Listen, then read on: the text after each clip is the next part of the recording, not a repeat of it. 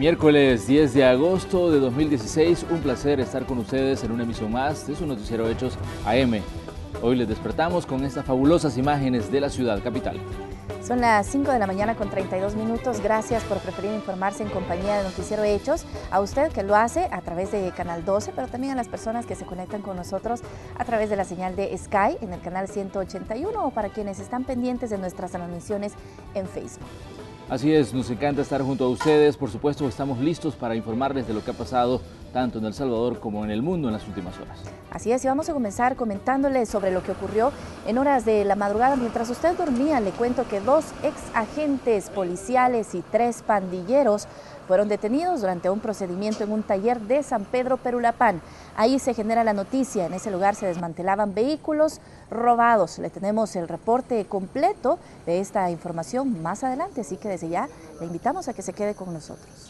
Por supuesto que le vamos a presentar el detalle de esta situación que ha ocurrido en las últimas horas. Mientras tanto, les comentamos que esta mañana vamos a conversar con la directora del Instituto Nacional de la Juventud, Jamie Muñoz. Vamos a hablar sobre el programa Juventud con Todo y la polémica que se generó. Ustedes se acuerdan cuando hablamos mucho de los ninis, las personas que ni estudian ni trabajan. Pues hoy vamos a conocer qué ha pasado con ese programa que será sometido a revisión en las próximas semanas.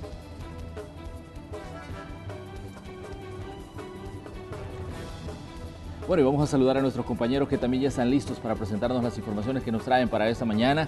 Carlos, Linda, Lorena, ¿qué tal? ¿Cómo amanecen en Buenos este día? días, compañeros. Buenos días, compañeras. Buenos días, Celida, ¿qué tal? Un gusto. Espero que siga mejor de su garganta, Celida.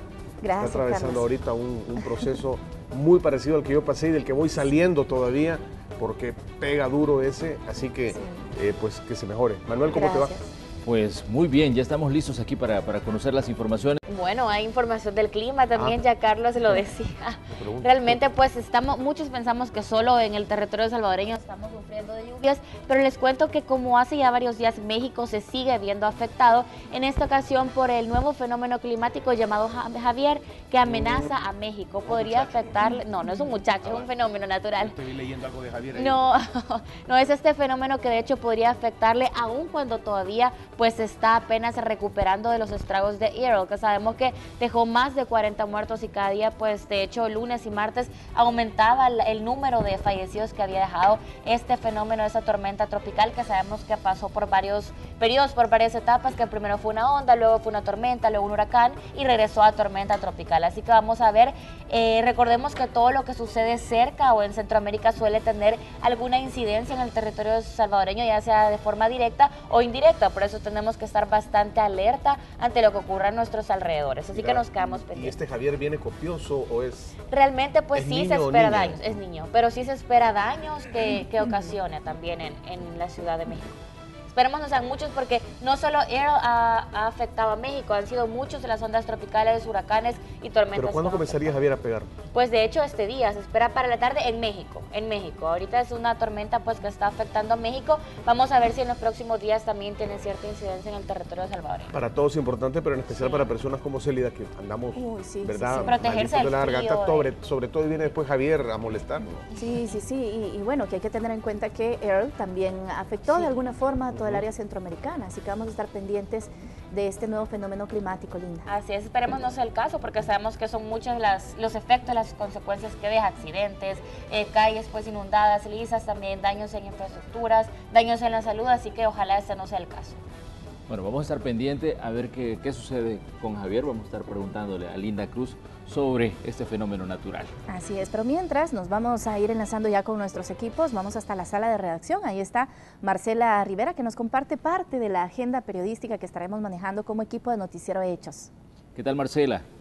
Muy buenos días compañeros, así es, les voy a compartir parte de la agenda periodística que se tiene previsto para horas de la mañana de este día. Y es que a las ocho y media el Ministerio de Relaciones Exteriores inaugurará la sede del Consejo Nacional para la Protección y Desarrollo de la Persona Migrante y su familia. A esa misma hora, a las ocho y media, también el presidente de la República, Salvador Sánchez Serén, dará información detallada sobre los fondos, acá también específicos de la Contribución Especial para la Seguridad Ciudadana y Convivencia. A las 9 el Ministerio de Hacienda a través de la Dirección General de Aduanas también estarán brindando una conferencia para brindar detalles y aclaraciones también sobre el proceso para participar en la subasta pública realizada por esta dirección. También la agenda se extiende a las 9 de la mañana y es que a esa hora la Superintendencia del Sistema Financiero brindará una rendición de cuentas junio 2015, mayo 2016. Y bueno, a las 11 Acción Ciudadana presentará una denuncia ante la Corte de Cuentas sobre el uso de vehículos estatales en poder de la Asamblea Legislativa. Esta es parte de la agenda periodística que se tiene prevista para hora de la mañana, así que muy pendiente porque en las siguientes emisiones les estaremos brindando dando más información. Bueno, gracias Marcela. Vamos a estar pendientes de ver qué ocurre con la agenda periodística de ese día. Mientras tanto, nosotros vamos a continuar detallando algunas de las informaciones que se han generado en las últimas horas. Les comentamos que 200 piezas vehiculares incautadas y 5 capturados fue el resultado de un procedimiento policial realizado en un taller de San Pedro, Perulapán. Entre los detenidos figuran dos ex policías, el resto eran pandilleros. La División Central de Investigaciones de la Policía Nacional Civil allanó un taller donde se desmantelaban vehículos con reporte de hurto y robo. Se han encontrado diferentes piezas con reporte de hurto de vehículos. Asimismo, se han encontrado piezas que les han removido los tickets de las placas y donde van las plaquitas de los BIN. El taller estaba ubicado sobre el kilómetro 25 de la carretera panamericana y operaba con vehículos hurtados en la zona central y paracentral del país. Hay vehículos robados con reportes de hurto de años anteriores, del presente año, incluso del mismo mes. Están siendo utilizados para el desmantelamiento, para después proveer a la venta de repuestos, de picarlos, de, de deshuesarlo y venderlos después por piezas. En total fueron más de 200 piezas las incautadas en el procedimiento. Además, se logró la detención de cinco personas vinculadas a la red de venta de piezas de automóvil con reporte de hurto y robo. Dentro de ellos, dos exagentes de la Policía Nacional Civil. Sí, es confirmado que los dos pertenecieron a la institución policial en tiempos anteriores. Uno de ellos era el dueño de acá y el otro era colaborador de él. Juntos con los dos exagentes hay tres pandilleros. El nombre de los detenidos es... Tenemos detenido al señor Juan Francisco de Paz Mejía, de 35 años de edad. Este es un ex policía. Tenido también al señor Hugo Hernán Morales Ramírez, de 43 años de edad. Este también es un ex policía que fue depurado en el 2011. Tenemos a Samuel Eliasid Escobar Ramírez, de 25 años de edad. Este muchacho, según los datos que tenemos, pertenece a la pandilla MS. También tenemos al señor Rubí Javier López, de 34 años de edad, de pandillero de la Mara MS. Y al señor Julio Humberto García Asensio, de 38 años de edad. De acuerdo con la DCI, este taller sirvió como fachada de una red de delincuentes que se dedicaba a hurtar, robar, desmantelar y vender piezas por encargo. Lo que información que tenemos es que estas piezas eh, son a pedido. Ellos acá tienen la fachada de que es una venta de, de repuestos usados, pero acá pues usted viene y si la pieza no la tienen, ellos se la consiguen producto de otro vehículo. Además del decomiso de las más de 200 piezas, los detenidos serán acusados de modificación de placas de circulación, agrupaciones ilícitas, receptación de vehículos automotores provenientes del hurto o robo, entre otros.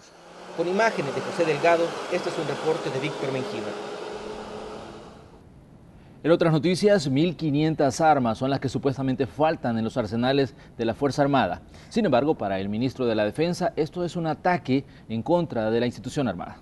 Ya que, según él, las armas permanecen guardadas en los almacenes de la institución.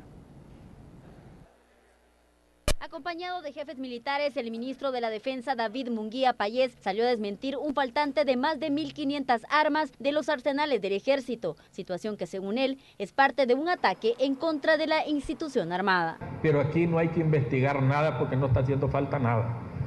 El ministro fue tajante al decir que las armas permanecen en los almacenes del Ministerio de la Defensa. No es justo que nos estén acusando a nosotros de haber extraviado o perdido 1.543 armas, dando la impresión de que estas armas han salido de nuestros almacenes, lo cual no es cierto y pudieran estar en manos de la delincuencia.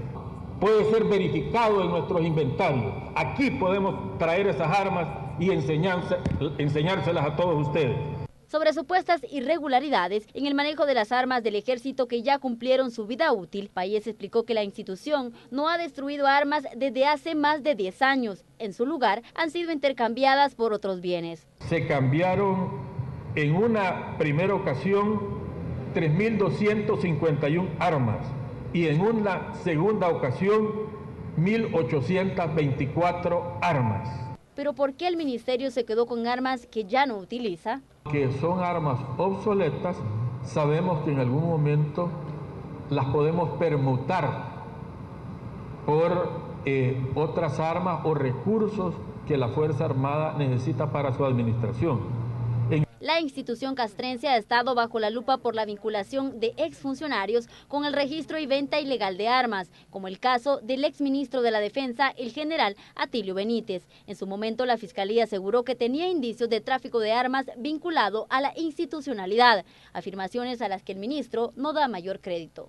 Indicios que el comercio de armas, yo dije en su momento, pudiera estar viniendo desde la misma institucionalidad. En el caso del comentario que hizo el señor fiscal de que posiblemente eh, algunas de las armas pudieran salir de la institucionalidad, habría que pedirle ampliación al señor fiscal, porque esas armas no están saliendo de los inventarios de la Fuerza Armada.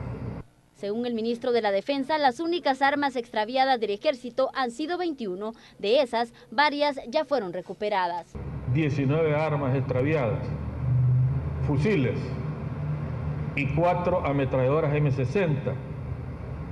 Entre los fusiles ya se recuperaron tres fusiles y también se han recuperado, con apoyo de la Policía Nacional Civil, tres de las cuatro ametralladoras M60 ante los últimos señalamientos que vinculan a la institución con supuestas irregularidades, como la explosión del polvorín en el regimiento de caballería para supuestamente justificar la pérdida de armamento, y la más reciente, la entrega de la licencia de portación de armas al financista y cabecilla de una de las principales pandillas del país. El ministro de la Defensa asegura que se trata de ataques políticos sin fundamento.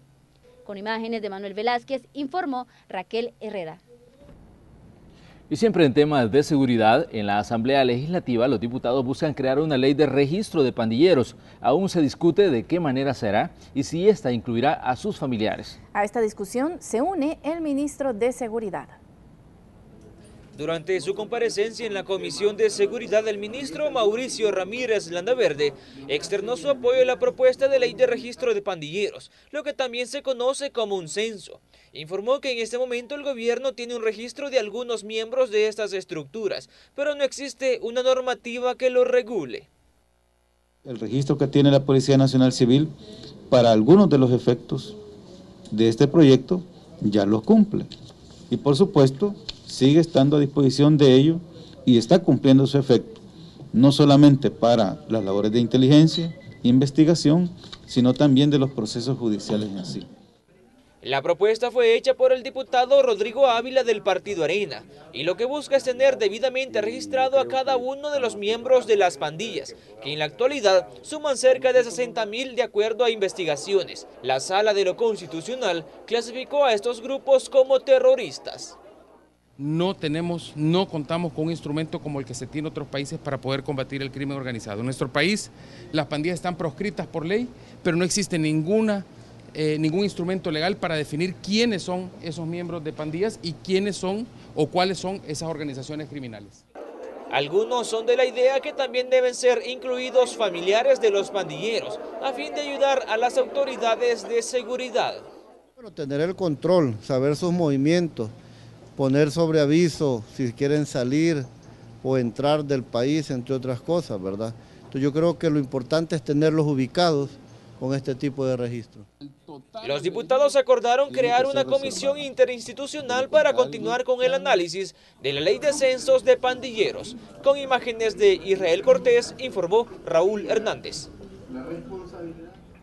Un homicidio se registró en la colonia Jardines de Monteblanco, en el municipio de Soyapango. La víctima fue identificada como Edgar Alexis López Meléndez, de 18 años, un presunto pandillero de la zona. Según la información de las autoridades, se trató de un ajuste de cuentas entre grupos delincuenciales.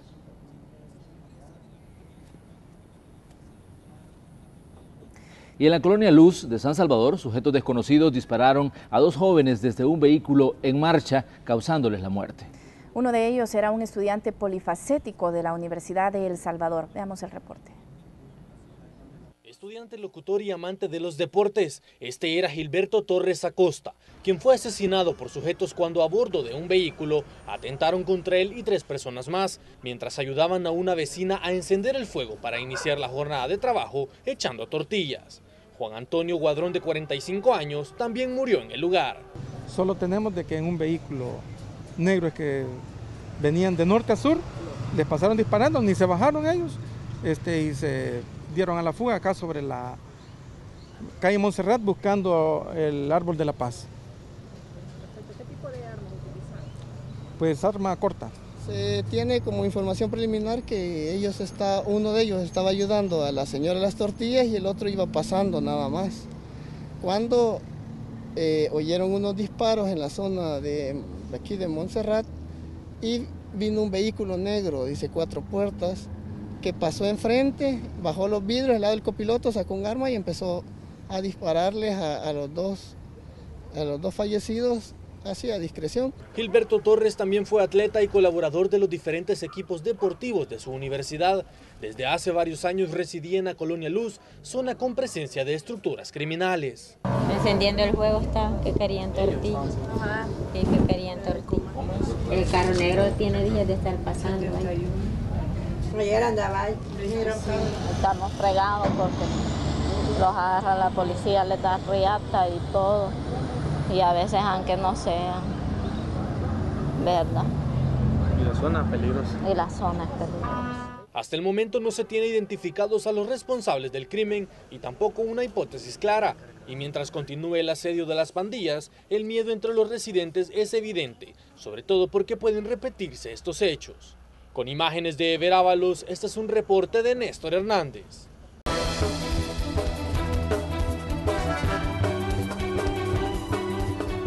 Gracias por continuar con nosotros en este día miércoles. Tenemos información en desarrollo con nuestro compañero Néstor Hernández que se encuentra en la zona de la carretera troncal del norte.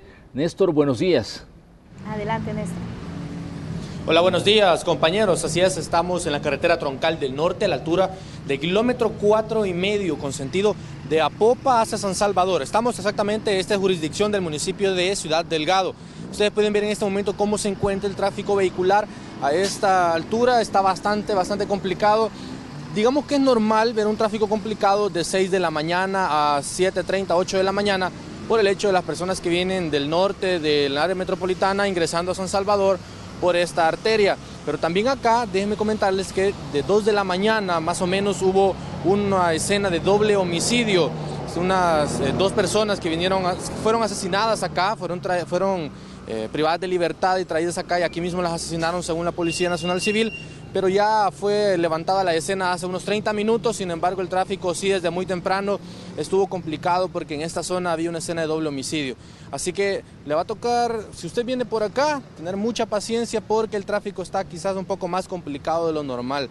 Esto, digamos, las personas creo que ya están acostumbradas a tener tráfico acá en la carretera troncal del norte, pero ahora por este homicidio que se mantuvo hasta cerca de las 5.15 de la mañana, acá ya las personas ya estaban sintiendo el tráfico vehicular. Así que a tomar en cuenta, sobre todo en ese sentido, porque el otro sí, buscando de San Salvador hacia Popa, se encuentra completamente despejado. Así que este es el reporte, compañeros. También comentarles que al fondo van a ver ustedes una imagen de la Policía Nacional Civil en su división de tránsito recordemos que ellos mantienen un plan cero tolerancia y luego de procesar la escena se vinieron hace unos 10, 15 minutos y estos agentes de, la división de tránsito tienen un retén acá donde están revisando algunos vehículos algunos vehículos, sobre todo taxis piratas, sobre todo también transporte colectivo. Hemos visto varias unidades de transporte colectivos que están siendo revisadas, al menos para saber si la documentación.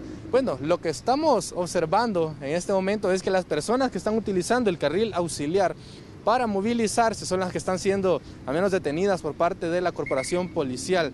Estamos viendo que estos vehículos que están ingresando por el carril auxiliar, acabamos de observarlo, ven ustedes este carril, este automóvil rojo que venía por el carril por la derecha, que no es de los carriles que suelen los carriles normales, así que los auxiliares son los que saben ustedes que son para eso, por si hay alguna emergencia, detenerse, pero no para rebasar y eso es lo que están revisando los agentes de la Policía Nacional Civil y al menos multándolos de ser necesario, porque esto es prohibido también. Así que esto es lo que tenemos a esta hora de la mañana, este procedimiento de la Policía Nacional Civil que ha iniciado hace un par de minutos. Así que este es el reporte, compañeros, vuelvo con ustedes hasta el estudio principal. Gracias, Néstor. Pero mira, qué bueno que, se esté poniendo eh, estricta la Policía Nacional Civil en este sentido de que se respeten los carriles auxiliares, porque esto a la larga genera siempre más congestionamiento cuando los conductores tratan de rebasar a través de esos carriles que están, bueno, creados para atender emergencias cuando una persona tiene problemas en su vehículo. Gracias, Néstor, por tu reporte. Gracias, compañeros. Feliz día para ustedes. Igual para ti, Néstor, buen día. Sigue el plan cero tolerancia también, ¿verdad? Y ayer justamente estaba hablando yo con em, una de las autoridades y me decía lo que pasa es que a los salvadoreños de repente nos cuesta aceptar el orden, nos cuesta aceptar las reglas y esa ha sido una de las dificultades para poder implementarlo en su totalidad. Pero en todos lados vemos eso, ¿verdad? Constantemente a la hora de que se violan la, normativa de tránsito, en, tema de doble líneas amarillas, que aquí lo vemos a cada rato, cuando tenemos eh, las transmisiones en, en vivo, cuando hacemos los enlaces de tráfico con nuestro compañero Gerardo, vemos cómo constantemente los conductores eh, violan, vamos a decir violamos porque vamos a reconocer que todos lo hemos hecho más de alguna vez, o al menos yo reconozco que lo he hecho alguna vez, y, no es correcto, ¿no? Y el, y el trabajo comienza adentro de uno mismo, justamente, en tratar de concientizarse o concienciarse de no hacerlo, pues, para tener también la autoridad moral de exigírselo a otros que no lo hagan. Y el problema es que ocurren accidentes y al final se buscan culpables cuando se sabe bien quién ha tenido la culpa y las personas se molestan cuando se dice usted pues hizo algo que iba en contra de la ley y al final existen esas molestias que hemos visto que ha terminado, terminado también de forma fatal, algunas discusiones en la calle. Al final eh, es quizás cuestión de educación, habría que analizar también la facilidad con la que se brindan las licencias de conducir a las personas que están adquiriendo, a, los jóvenes, pues qué tipo de formación se les da también. Podría ser desde ahí también la, la solución, ¿verdad? Educación vial, desde muy temprano. Definitivamente, qué importante que continúe el plan cero tolerancia por parte de las autoridades de tránsito. Le vamos a comentar otras informaciones. El secretario de Comunicaciones de la Presidencia, Eugenio Chicas, dice que el gobierno urge de la aprobación del préstamo de 1.200 millones de dólares en bonos para salir de la crisis fiscal. Esperan que este mes se logre la aprobación del monto en la Asamblea Legislativa. A pesar de la crisis, Eugenio Chicas dice que por ahora el Ejecutivo no contempla aplicar ningún nuevo impuesto para mejorar las finanzas del Estado. Este gobierno no tiene en su agenda, no tiene previsto incrementar ningún impuesto o crear nuevos impuestos. Eh, eso más bien derivará de las conversaciones del pacto fiscal al que se pueda arribar y en cualquier pacto fiscal creo que el tema de fondo, el tema más importante que está sobre la mesa, en primer lugar está reducir los gastos del Estado. Nosotros tenemos la responsabilidad, como lo ha dicho el ministro de Hacienda, y hablando de bonos y de dinero, el superintendente del sistema financiero Ricardo Perdomo dice que está por ejecutarse la segunda fase de la colocación de bonos en, en, referencia a los 52 millones de dólares que falta posicionar en la bolsa de valores de un total de 152 que servirán para financiar las medidas extraordinarias de seguridad. Y de esta manera eh, hubo una colocación exitosa de este primer tramo. Eh, posteriormente va a salir el, tramo para completar los, los, restantes de lo autorizado. Eh, quiero decirles que a través de la bolsa también se están comprando letras del tesoro y se están negociando de alguna manera también las titularizaciones. Y bueno, recientemente Lorena Peña ha sido señalada por comprar ropa, gastar en restaurantes, arreglos florales, entre otros. Este dinero asignado a gastos para la presidencia de la Asamblea Legislativa. La presidenta reaccionó diciendo que estas afirmaciones forman parte de una cortina de humo para desviar la atención de lo que sucedió con el uso de los vehículos del primer órgano del Estado. Se refería al caso de David Reyes. Veamos más a continuación. Hay una papaya que va a pasar, este, parece, eh, a, niveles muy altos de difusión. Pero no solo una papaya fue comprada con recursos públicos. La presidenta de la Asamblea salió al paso de los cuestionamientos en su contra por haber gastado más de 50 mil dólares durante un año en la compra de ropa, comida, artículos navideños y flores. Compras realizadas con fondos circulantes, es decir, dinero público proveniente del pago de impuestos. Aunque estos fondos deben ser utilizados para alguna emergencia, Lorena Peña tiene justificaciones. De verdad, de verdad no es ético adjudicar que yo compré ropa personal de eso. Si quieren vayan y miren las tallas y ya se pueden orientar. Eso no me parece ético, ¿verdad? Ni que al final este, se quiera echar una cortina de humo sobre un caso grave de uso de recursos públicos, no para uso personal de un diputado, sino de la parentela. De acuerdo a la publicación periodística, la presidenta gastó más de 800 dólares en la adquisición de ropa. Argumenta que no es para ella, sino para empleados de la asamblea. No voy a recordarles porque ya saben ustedes mi apariencia a lo largo de este año y como entenderán, eh, no se necesita sacar de la asamblea para el tipo de vestimenta que yo uso, ni que usara otra, no tengo por qué sacarla de ahí. Al escenario aparecen estos dos políticos, exigiendo explicaciones de la presidenta. Algunos consideran excesivos los gastos en un momento que el gobierno urge de recursos y se habla de austeridad. Yo creo que es demasiado, yo creo que hay que hacer una valoración al interior de la, de la Junta Directiva para ver si ese fondo se, se disminuye y se pone más en, relación con, con la crisis enorme que atraviesa el país. Si es legítimo el gasto o no, pues eso queda a la consideración de la gente. Yo lo que veo que los miembros de seguridad los funcionarios, eso de verlos de Guayavera, ya uno identifica quién es el de seguridad porque anda detrás de algún funcionario con Guayavera, ya uno entiende que es seguridad. También se cuestiona el gasto de más de 5 mil dólares en consumo de hoteles y casi 3 mil dólares en la compra de arreglos florales, algunos obsequios entregados a diplomáticos de otros países. Sí, aquí compramos artesanías.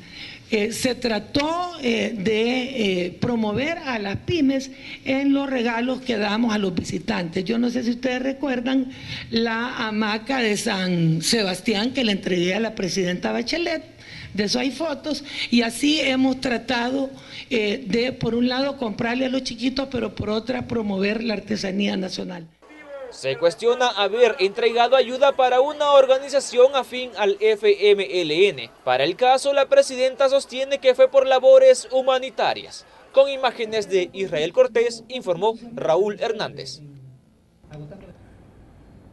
Bueno, y vamos a seguir hablando de estas situaciones que ocurren en la Asamblea Legislativa, porque las autoridades migratorias dijeron que el vehículo en el que se transportaba la hermana del diputado David Reyes no contaba con los permisos requeridos por parte del Congreso. Pese a ello, se le permitió salir del territorio salvadoreño hasta que fue retenido en la frontera nicaragüense. Por la frontera El Amatillo ese día en horas de la mañana y el retorno de ella en horas de la noche. Eh, lo que tenemos entendido es que se le negó el, ingreso a, Nicaragua en la frontera entre Honduras y Nicaragua, la frontera que se llama Guasaule, porque eh, no portaba el, permiso respectivo del vehículo en el que se conducía. Al parecer portaba una, una autorización de otro vehículo que no le corresponde al que ella conducía gracias a todos los que siguen con nosotros en redes sociales. Lorena, están interactuando en Twitter, en Instagram también, mientras compartimos imágenes, ¿cómo se dice? Detrás de cámara, ¿verdad? Sí, detrás de cámara. Sí, bueno, 6 con 13 de la mañana. Por cierto, ¿cómo te encontramos en Instagram? Porque hoy ya estás dándole más actividad a esta red social Igual también. Que en el Twitter, arroba TV. Excelente. Bueno, estábamos consultándole, Linda, desde muy temprano sobre Javier este fenómeno natural que estará afectando las costas de México. Veamos cuáles son los detalles que ya nos presenta a continuación. Toldos blancos para lluvia o sol. Proteja sus eventos con toldos blancos. Presenta la sección del clima. Estará la condición climática en el territorio salvadoreño. Ya como decían, varios días hemos estado sufriendo lluvias en diferentes partes del territorio salvadoreño, pero les cuento que específicamente para este día se espera la restricción de las mismas. Esto debido a sistemas como el ingreso del flujo del este acelerado tengan poco contenido de humedad. Sabemos que la humedad es la que genera las lluvias y también, pues como les decía, esto restringirá significativamente las lluvias para hoy. Esto pues también se dice que solamente el occidente del país tendrá algunas lluvias y tormentas aisladas a fuertes. Lo que prevalecerá es un ambiente muy caluroso y hasta sofocante en todo el territorio nacional. Vamos a conocer también las temperaturas que se registrarán en las distintas zonas del territorio, iniciando en San Salvador con una temperatura máxima de 32 grados Celsius y una mínima de 22 grados Celsius. Importante en San Salvador, es decir, la zona central también se espera eh, una probabilidad de un cielo parcialmente nublado. Ahora veamos Santa Ana, en donde habrá probabilidad de lluvias. Tendremos una temperatura máxima de 34 grados Celsius y una mínima de 22 grados Celsius. Y San Miguel, por su parte, también el oriente del país, una temperatura máxima 38 grados Celsius y una mínima de 25 grados Celsius. En este lugar, de igual manera que en la zona central, se espera un cielo parcialmente nublado. Además, es importante enterarnos de las horas de la salida y la puesta del sol. Y es que este día la salida se registró a las 5 con 43 de la mañana y se espera también la puesta sea para las 6 con 21 de la tarde. Así que información que es importante que usted tome en cuenta también. Eh, recordemos que varios días hemos estado sufriendo, como les decía, de diferentes lluvias que han ocasionado diversas inundaciones en territorios. Para este día se espera escenas lluvias, pero recordemos que siempre lo que está pasando fuera del territorio salvadoreño puede tener cierta incidencia también, que sería en el caso de las lluvias. Así que siempre lo mejor es estar prevenidos ante cualquier situación. Recuerde un calor sofocante para esa tarde, así que a preparar la ropa adecuada. Y con esta información del clima, le invitamos a que nos acompañe a una pequeña pausa y regresamos con más información de Noticiero Hechos.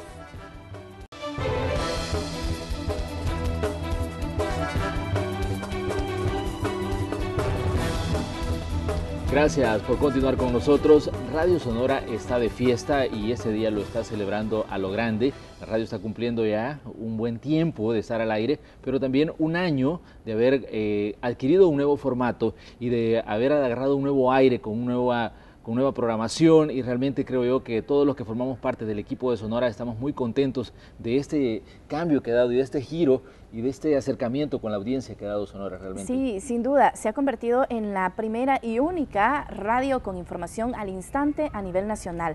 Así que le invitamos a conocer cómo ha sido este recorrido durante este tiempo en la emisora que forma parte de la red salvadoreña de medios y que cumple también 51 años de transmisión al aire.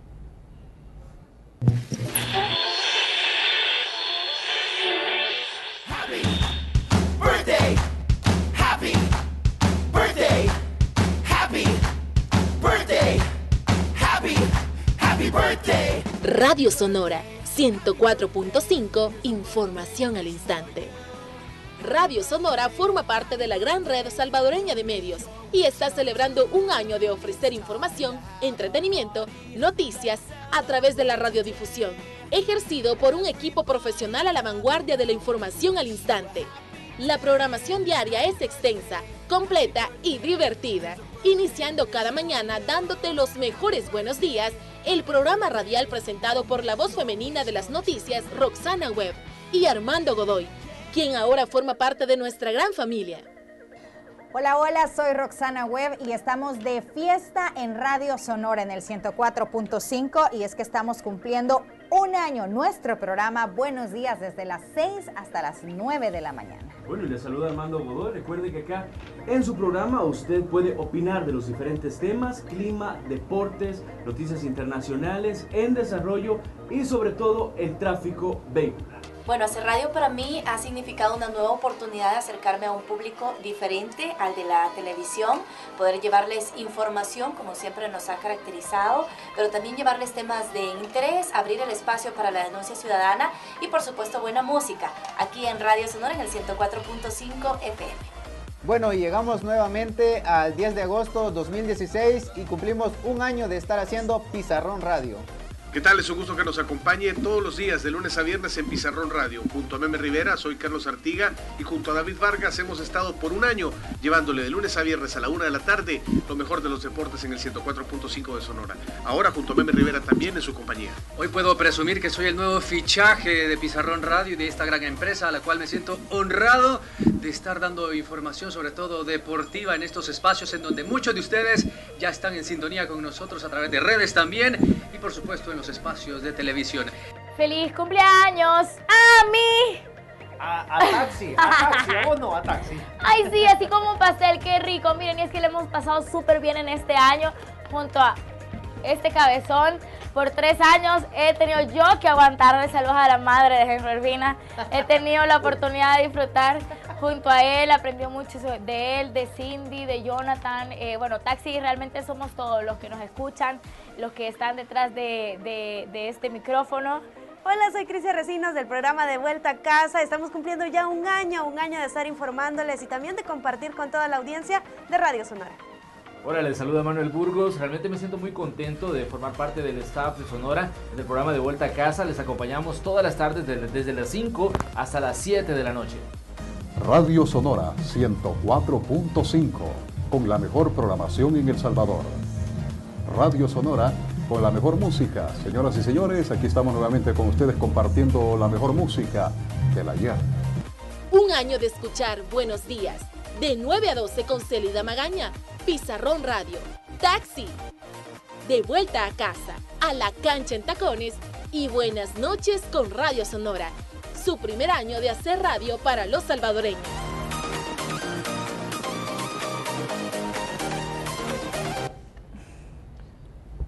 Bueno, qué alegría celebrar este aniversario con, con, Sonora, 51 años de estar con la audiencia del Salvador y un año de haber estrenado este nuevo formato. Así es, este día va a ser especial, así que desde ya le hacemos la invitación a que ustedes nos acompañen en el 104.5 FM. De hecho, nos vamos a enlazar con el programa Buenos Días hasta Radio Sonora. Ahí está Roxana Webb y Armando Godoy celebrando estos 51 años, el primer aniversario también de su programa. Así que nos enlazamos con ellos. Vamos con Marcela Rivera, que es la que se encuentra donde se está desarrollando esta celebración, porque está tirando la casa por la ventana, Sonora. Salieron este del edificio Bicentenario, entendemos, ¿no? Así que no están en cabina, pero se han desplazado a otro lugar. Vamos a ver, eh, enlazamos con nuestros compañeros. Adelante. Muy buenos días compañeros y como ustedes lo mencionaban, Radio Sonora está de fiesta. Este día se cumple el 51 primer aniversario y el primero del programa Buenos Días que es conducido por Armando Godoy y Roxana Webb. Y ellos ya tienen los primeros invitados. Vamos a conversar con ellos para que nos comenten más acerca de esta experiencia. Comenzaremos acá con Armando Godoy para que nos comente también cuál ha sido tu experiencia en estos días acerca de Radio Sonora y de este programa Buenos Días.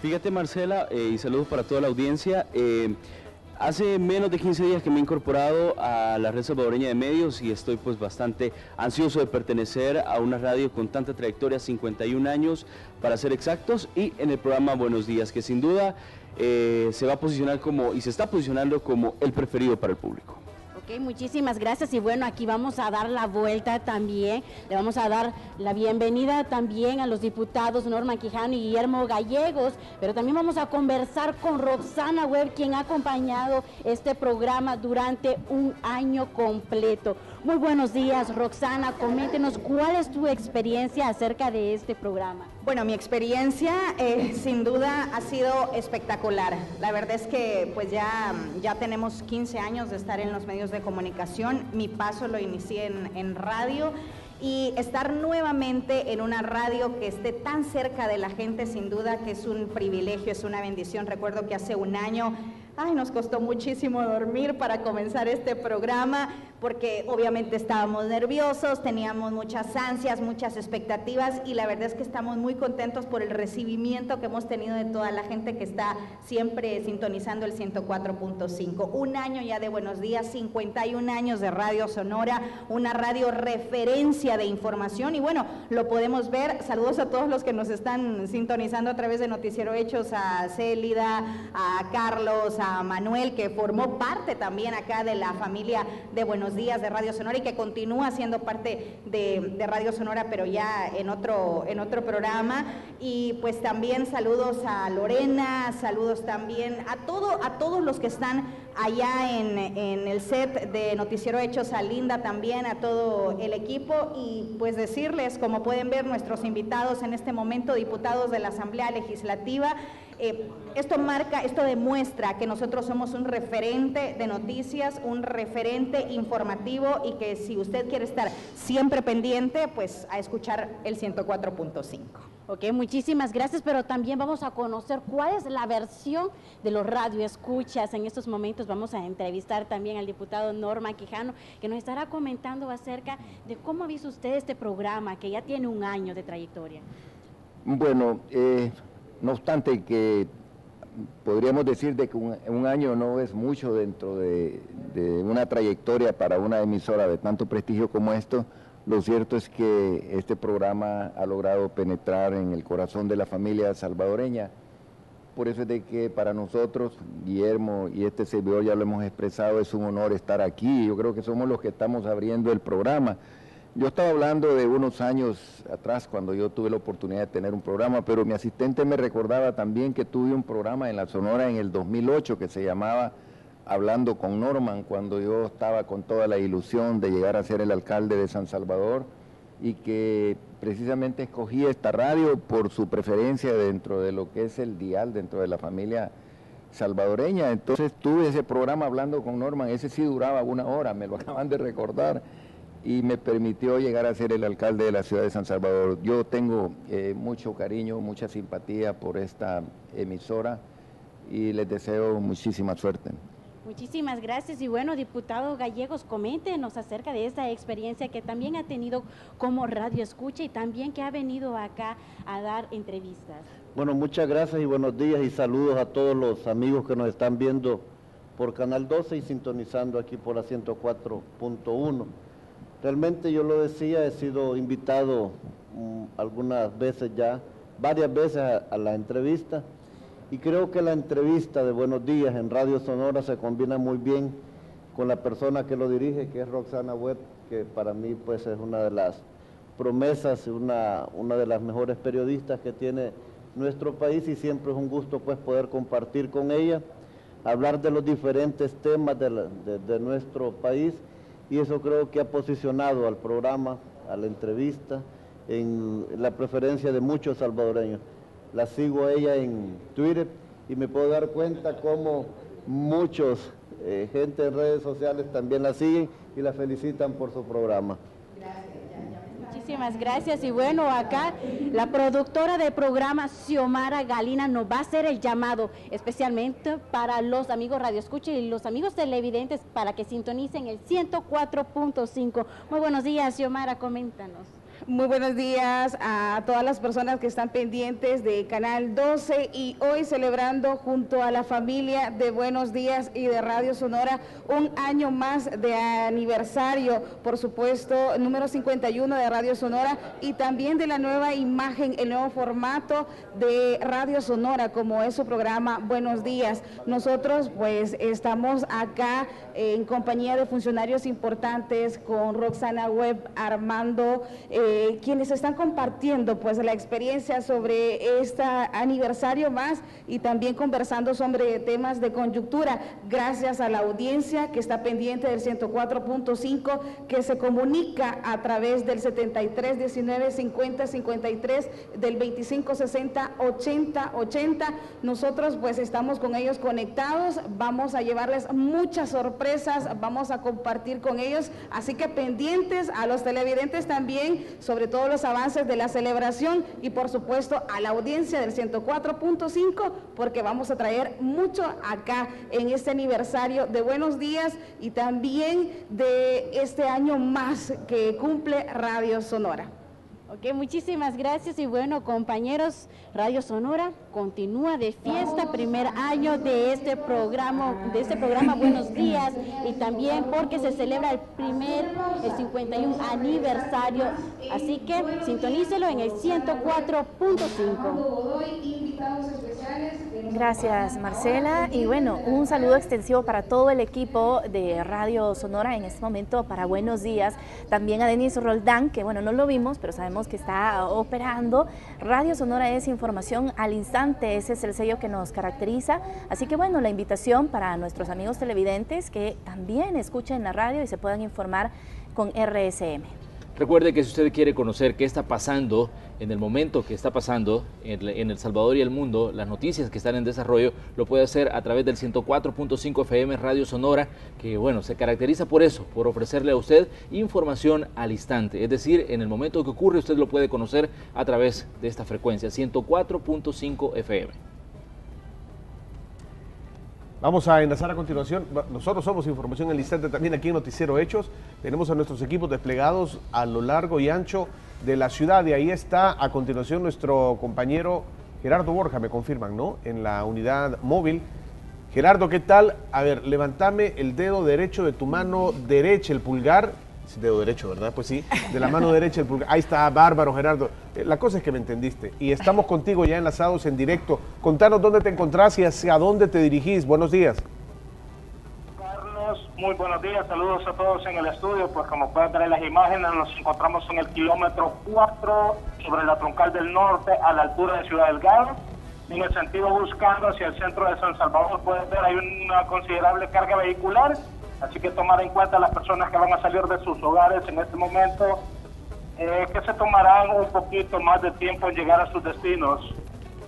Eh, hola, perdón. Hola, sí, bueno, nada más consultarte. Tú que recorres con mucha constancia diferentes arterias de nuestro San Salvador, ¿a qué consideras que se debe el congestionamiento? ¿Será por la carga vehicular o habrá sucedido algún inconveniente?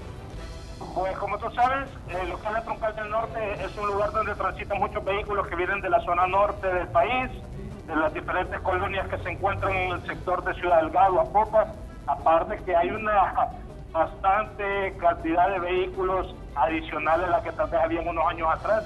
Aparte, también la hora, que estamos en una hora en que la mayoría de personas ya se dirigen a sus lugares de trabajo, a diferentes destinos del país. Bueno, pero por lo menos observamos que, pues, está bastante cargado el tráfico, pero fluye. Así que hay que tener un poco de paciencia para poder avanzar y si usted tiene que pasar por ese lugar ya sabe cómo está la situación. Ya sabemos, la recomendación es siempre tener cuidado, ser responsables, saber pues respetar las leyes de tránsito y por supuesto también eh, salir antes de su casa. Independientemente veamos un poco fluido, lo mejor es siempre llegar antes, al trabajo, a estudios. Entonces ahí están las recomendaciones que a diario estamos compartiendo con ustedes. Gracias Gerardo Borja. Gracias a ustedes, feliz día. Bueno, y con esto nos vamos a ir a una pausa porque ya vamos a comenzar con la entrevista correspondiente a este día. Vamos a estar hablando con la directora del Instituto Nacional de Juventud, así es que les invitamos a que continúen con la señal de Canal 12.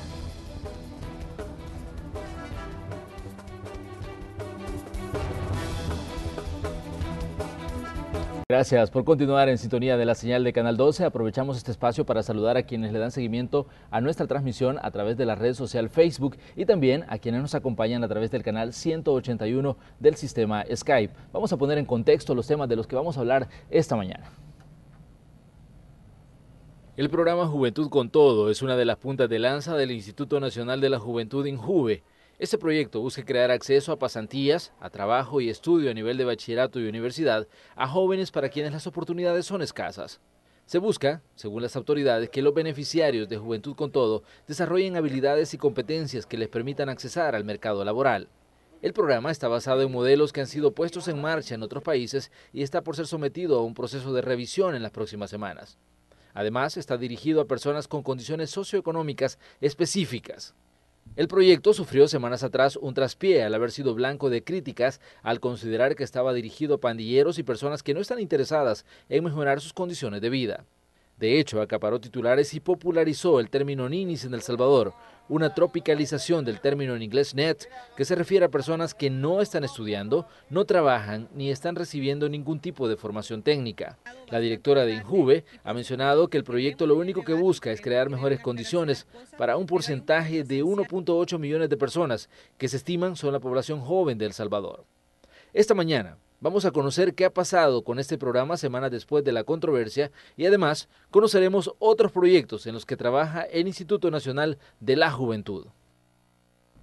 Bueno, le vamos a dar la bienvenida a la directora del Instituto Nacional de la Juventud, Jamie Muñoz, a quien, bueno, agradecemos que haya aceptado la invitación para estar con nosotros en este espacio de la entrevista en Hechos AM. Bueno, buenos días. Un saludo también a usted y, por supuesto, a toda la audiencia de Canal 12. El INJUVE es una institución relativamente nueva. Surgió, bueno, en, apenas en 2012 con la entrada en vigencia de la Ley General de Juventud. Esto fue en febrero de 2012, para ser exactos y nace bajo la premisa que el Estado tiene que reconocer los deberes y los derechos de la población joven. Pero, licenciada Muñoz, ¿qué tanto se hace para que esto que está plasmado en, el, acta de nacimiento, podríamos decir, del INJUVE, se convierta en una realidad? Bueno, hay que decir también que, la institución tiene a la base una política, una política nacional de juventud que es para nosotros también como, como ese argumento ¿no? del ser de la institución y esa política eh, pretende trabajar siete políticas sectoriales en las que está el empleo, la participación juvenil, la educación, eh, la prevención de la violencia, la cultura, el arte, la recreación eh, y el medio ambiente. Estas siete políticas nos dicen a nosotros cómo debemos de ir focalizando esfuerzos. Además, la misma Ley General de Juventud nos ha dado un mandato específico, que es coordinar y articular esfuerzos con instituciones de gobiernos, con organismos internacionales, con las municipalidades, con las organizaciones eh, juveniles, para generar acciones concretas y precisas para, los jóvenes. Entonces, en ese sentido, nosotros hemos venido cumpliendo con esa misión. Y recientemente, pues como lo acabamos de ver en la nota, lanzamos precisamente un programa que para el gobierno del presidente Salvador Sánchez Serén es estratégico, el programa Jóvenes con Todo. Por primera vez pensamos en un programa que atienda a una a un grupo poblacional que realmente necesita atención, necesita inversión. Y este programa no surge de la nada, sino que es un programa que surge en base a un diagnóstico que hicimos eh, de la juventud salvadoreña y a otras experiencias que conocimos a nivel internacional y que han tenido resultados exitosos. Pero, en el diagnóstico, por ejemplo, que han encontrado sobre la situación de, de la gente joven en El Salvador. Bueno, en el diagnóstico primero que son dos o tres, tres demandas las mayores de la juventud y una es precisamente el acceso a la educación, el acceso al empleo y otro es también el acceso que, que debemos darle a las, a las personas jóvenes de ser colocados en espacios de incidencia, donde puedan tomar decisiones, donde ellos sean protagonistas y sean actores, porque siempre hemos visto a los jóvenes como una población a la que debemos beneficiar a través de los proyectos. Pero cuando trascendemos de eso tenemos que verlos como actores protagónicos del desarrollo del país. Entonces el diagnóstico nos permite que demos, digamos, un, que definamos una estrategia que cambie esa mirada de la juventud y que genere acciones precisas para dar respuesta a esas grandes demandas que tiene la juventud, el acceso a la educación y el acceso al empleo. Si, si en el país han habido esfuerzos importantes porque la ley del primer, del primer empleo, digamos, fue un esfuerzo dirigido a, a resolver esa problemática que tienen los jóvenes cuando van a un trabajo y lo primero que les piden es la experiencia. Precisamente eso, ese me parece un punto bien importante. ¿Por qué? Porque mucha, mucha gente joven dice, yo quiero trabajar, estoy deseoso de incorporarme a la población económicamente activa. Pero ¿qué pasa? Cuando llego me piden cinco años de experiencia y apenas tengo ¿Tiene 19 años. O tiene 19 o 18. O tiene 20, exactamente. Entonces, y ese se vuelve como uno de los grandes obstáculos que a veces resulta bien difícil de superar. Fíjese que en base precisamente a, esa, a, e, ese problema puntual que identificamos en el acceso al empleo de los jóvenes, nosotros definimos dentro del programa Jóvenes con Todo el, la parte de la pasantía laboral. Porque la pasantía laboral le permite al joven ganar experiencia, y que esa experiencia les sirva para poder tener esa oportunidad del primer empleo.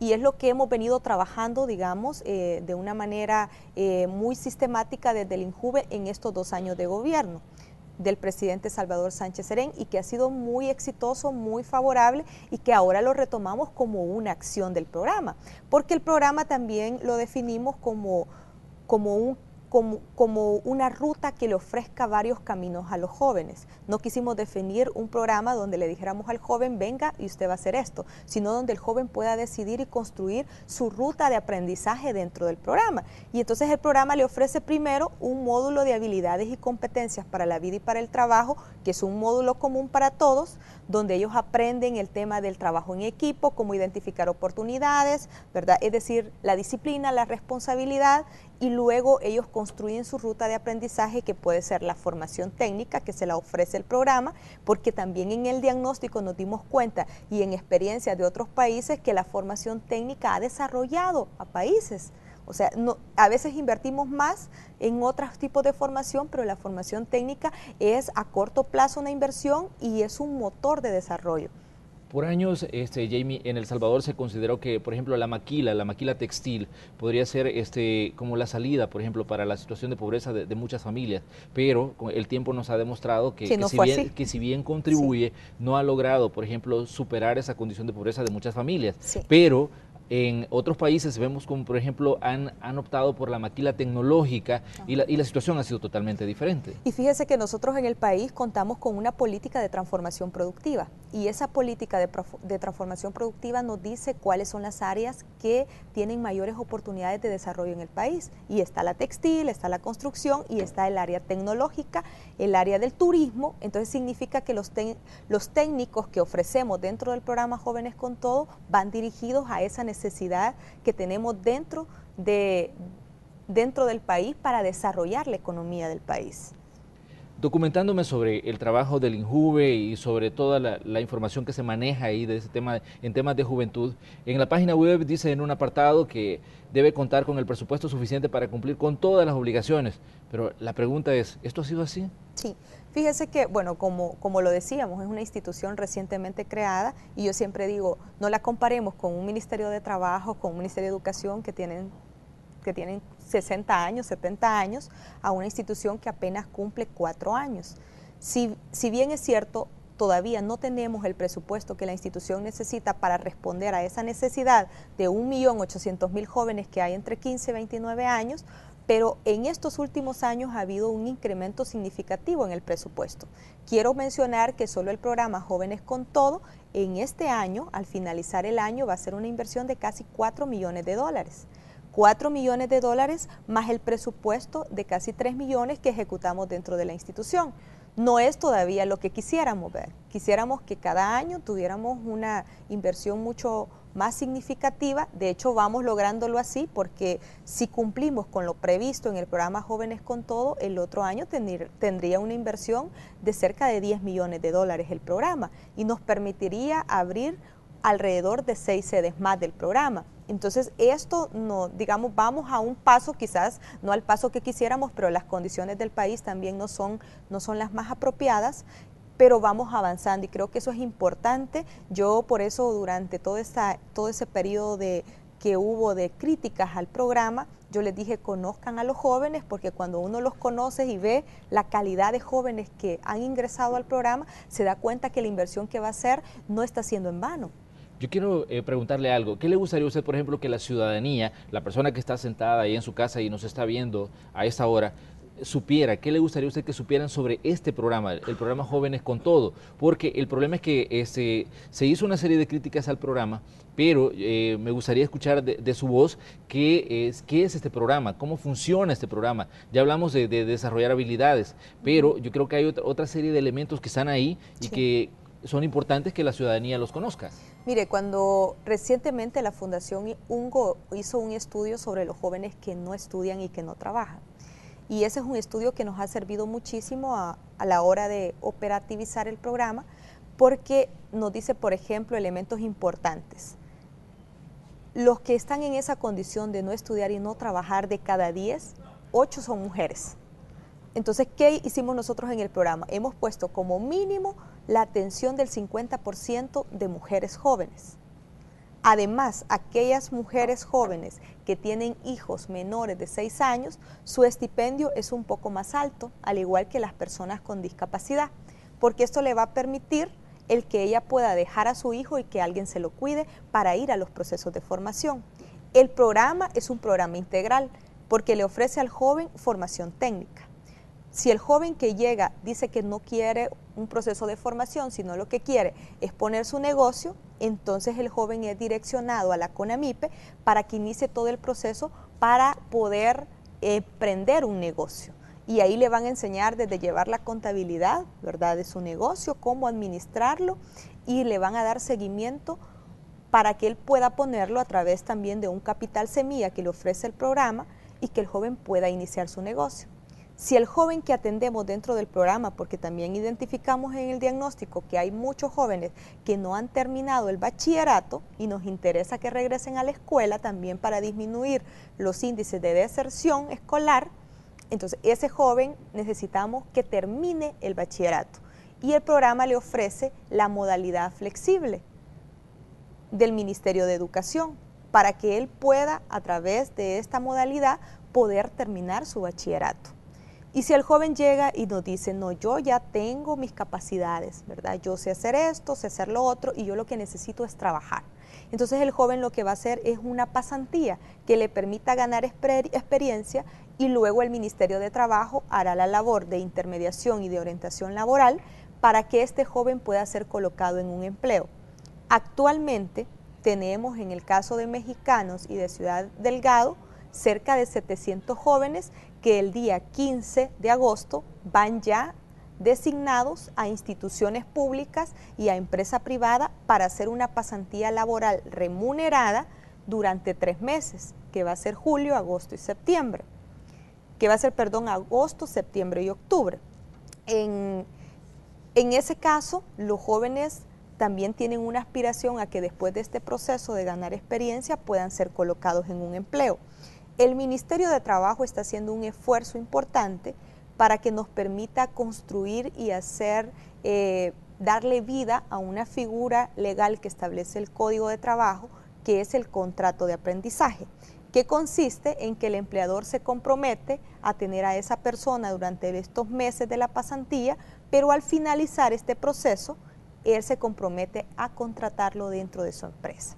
Yo tengo algunos datos del estudio que usted mencionaba de, la Fundación Ungo y esta, este estudio lo que dice es que, por ejemplo, en El Salvador el 51% de los ninis eh, se tienen entre 19 y 24 años, el 29.7 tiene entre 25 y 29 años y el 19.3% entre 16 y 18 años.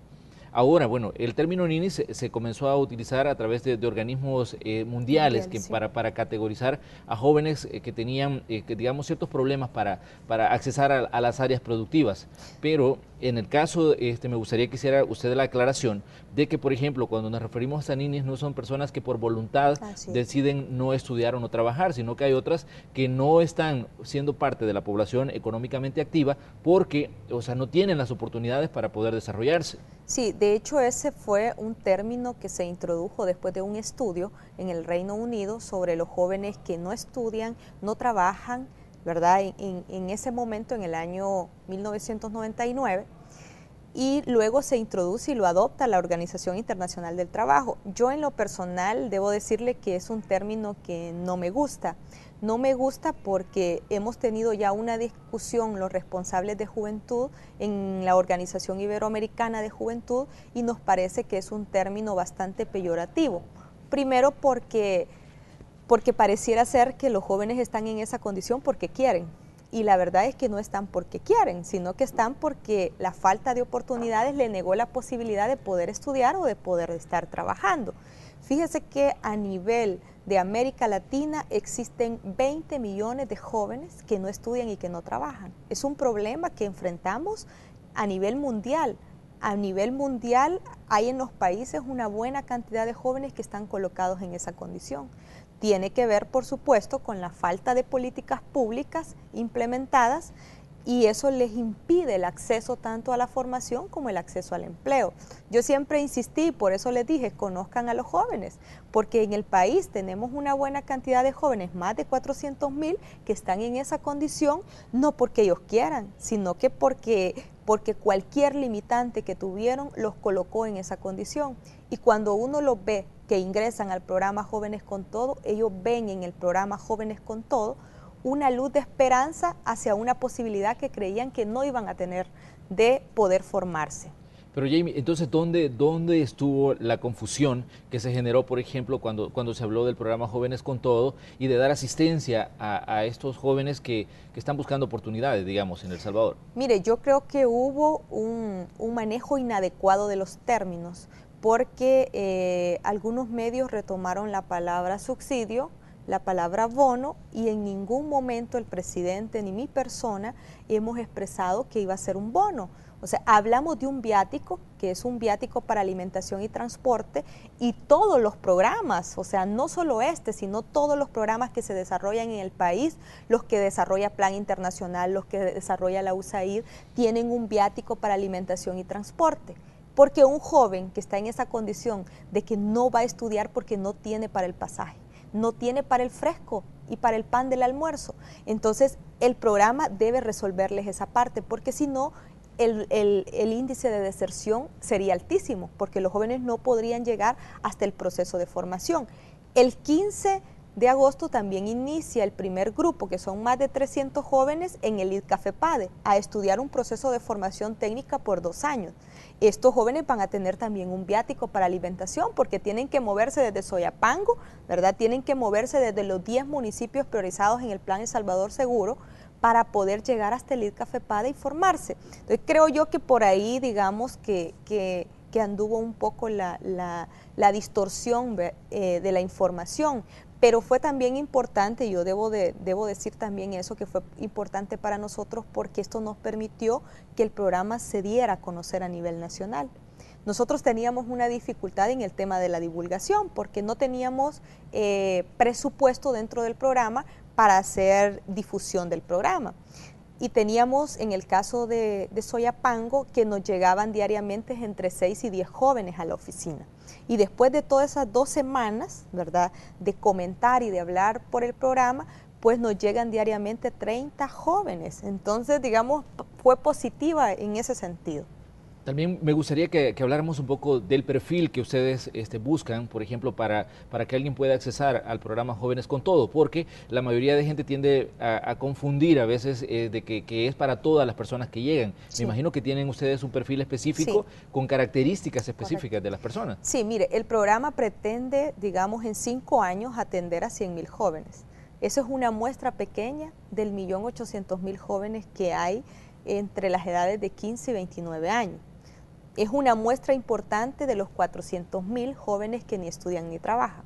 Pero entonces significa que si no podemos atender a los 400 mil, debemos priorizar a quienes. Y entonces el programa estableció criterios de selección de los jóvenes. El primero es que por supuesto tenga entre 15 y 29 años, que resida en el municipio de intervención del programa. Actualmente hemos tenido intervención en mexicanos, en Ciudad Delgado, en Soyapán Estamos por aperturar Santa Ana, San Miguel y en mexicanos que vamos a ampliar a más acciones porque la intervención fue solo en pasantía laboral. los jóvenes deben de residir en el municipio de intervención. Los jóvenes deben estar en la condición que en ese momento no se encuentren estudiando y no se encuentren trabajando. O los jóvenes deben de estar terminando el bachillerato y no van a tener la posibilidad de ir a la universidad. Entonces el programa se vuelve, digamos, una oportunidad para esos jóvenes que van a finalizar el bachillerato y que no van a poder ingresar a las universidades. Esos son los requisitos que los jóvenes deben elegir. Por supuesto que el programa define una ficha de inscripción, que es una ficha que se usó ya en las comunidades solidarias, es una ficha que tiene un aval internacional en esa ficha y en una entrevista que le hace un equipo multidisciplinario, el equipo que atiende a los jóvenes en el programa está integrado por psicólogos, por trabajadores sociales y por licenciados en ciencias de la educación. Ellos, ellos realizan una, una entrevista exhaustiva al joven que está previsto que dure 40 minutos como mínimo.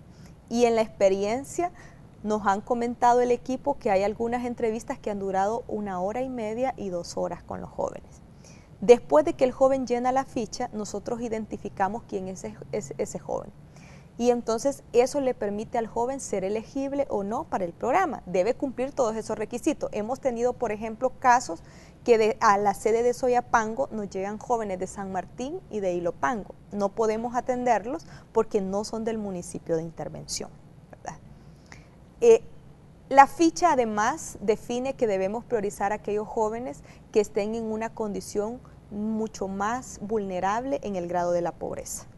y por eso el examen, que también digamos ahí la ficha promueve un examen socioeconómico de los jóvenes que nos permita determinar si la vivienda donde vive es propia o es alquilada, eh, qué tipo de electrodomésticos tiene en su, en su vivienda, eh, qué tipo de teléfono celular tiene, si tiene o no tiene. Todas esas cosas suman para determinar si el joven es elegible o no para el programa.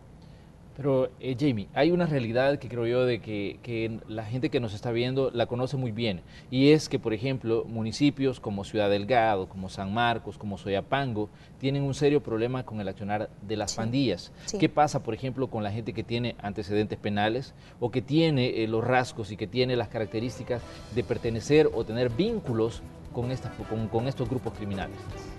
Mire, en ese sentido yo debo decir que nosotros no podemos hacer una discriminación solo por la apariencia del joven, porque entonces estaríamos yendo en contra del mandato que tenemos. Claro está que nosotros sí investigamos de qué joven se trata, porque yo lo he dicho en varias ocasiones, este no es un programa de reinserción de pandillas. Este es un programa de desarrollo integral a esos jóvenes que nosotros seguimos creyendo en el país que son la fuerza para, la, para el desarrollo, para la transformación del país. Entonces, no una de las cosas y de los mayores problemas que enfrenta la juventud salvadoreña es la estigmatización. La, estigmatización asociada a la violencia por su sola condición de ser joven. Entonces nosotros no queremos caer en ese juego dentro del programa de estigmatizar a nuestros jóvenes. Por supuesto que todo este proceso que yo le explico nos lleva a determinar qué qué calidad es ese joven que estoy entrevistando, que estoy investigando. Y por eso yo les dije, vean y vayan donde ellos y conózcanlos, porque cuando usted los conoce se da cuenta que no son jóvenes pandilleros, ¿verdad? Y que no, no están asociados a la violencia. Además, ellos durante el proceso deberán cumplir con sus horarios y ser responsables tienen que tener un grado de rendimiento porque nosotros tenemos que garantizar el éxito del programa. Entonces somos los más interesados que los que ingresen van a aprovechar esa oportunidad que el gobierno les está dando. Bueno, vamos a hacer una, pausa comercial a esta hora, pero les queremos invitar a que participen en la pregunta que estamos formulando a través de la red social Facebook. La interrogante dice, ¿cuáles considera usted que son los obstáculos que impiden a muchos jóvenes accesar al mercado laboral? Ahí está la interrogante. A medida vamos desarrollando el programa, pues vamos a conocer algunos de los comentarios que nos dejan las personas que pues nos siguen a través de Facebook. Con eso nos vamos a la pausa, ya volvemos con más. Recuerde que estamos conversando con la directora del Instituto Nacional de la Juventud.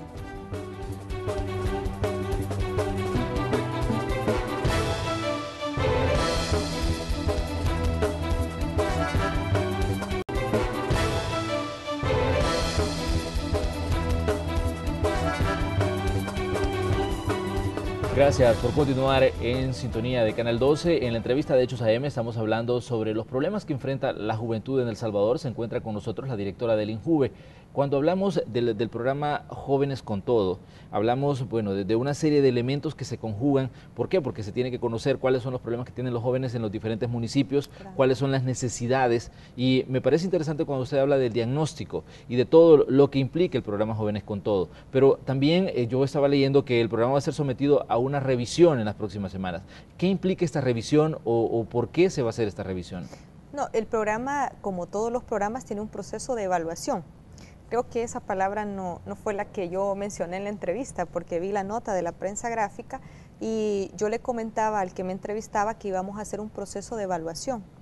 Una evaluación que para nosotros es importante, como se hace en cualquier plan de trabajo a final de, la primera, digamos, fase de implementación, nosotros estaríamos evaluando cuáles han sido, digamos, los aciertos y los desaciertos que siempre se tienen en la implementación de los programas. Esto el único objetivo que tiene es que nosotros podamos hacer el ajuste pertinente para que el programa siga avanzando. Pero es un programa que, que tardamos más de un año en diseñarlo desde su desde su diseño conceptual, metodológico y operativo, después de conocer experiencias, después de conocer lo que hacíamos en el país, porque hay que decir que ya instituciones como la CONAMIPE, como y ONGs, eh, Plan Internacional, por ejemplo, han hecho esfuerzos importantes en el tema de emprendimiento que también retomamos esa experiencia para nuestro programa. Lo que vamos a hacer es un proceso de evaluación que nos permita ajustar cosas más operativas, pero el diseño metodológico y conceptual del programa se mantiene, ¿verdad? Se mantiene tal cual ha sido diseñado. Eh, Quiero además decir que la próxima semana vamos a tener un foro organizado por la Organización Internacional del Trabajo. Va a estar acá en el país el secretario general, que es Max Trejo, eh, un poco también para conocer el programa, porque hay un interés. Además, eh, la OIJ está por, porque dentro de la cumbre de los jefes de Estado que va a haber este año en Colombia, ah, en, el mes de octubre, eh, o en mes de noviembre, no sé si es octubre o noviembre, eh, los jefes de Estado se puedan comprometer a generar políticas públicas para el desarrollo de habilidades y, el acceso a, a, los mercados laborales de los jóvenes. Entonces es un programa realmente que nosotros aspiramos primero a que se convierta en el país en una política pública. Hoy por hoy es un programa y hemos venido construyendo una política nacional de empleo juvenil con la idea de que este programa tenga su anclaje en esa política y se pueda convertir en una política de Estado, más que de un gobierno, en una política de Estado que responda a una necesidad que siempre van a tener nuestros jóvenes. El país hasta el año, hasta el año 2040 va a tener una gran cantidad de jóvenes, de generación de jóvenes que van a estar en, en esa en esa posición de ser personas económicamente activas. Entonces, una política pública que venga a generarle habilidades y competencias a este grupo poblacional va a ser indispensable para pensar en el desarrollo del país.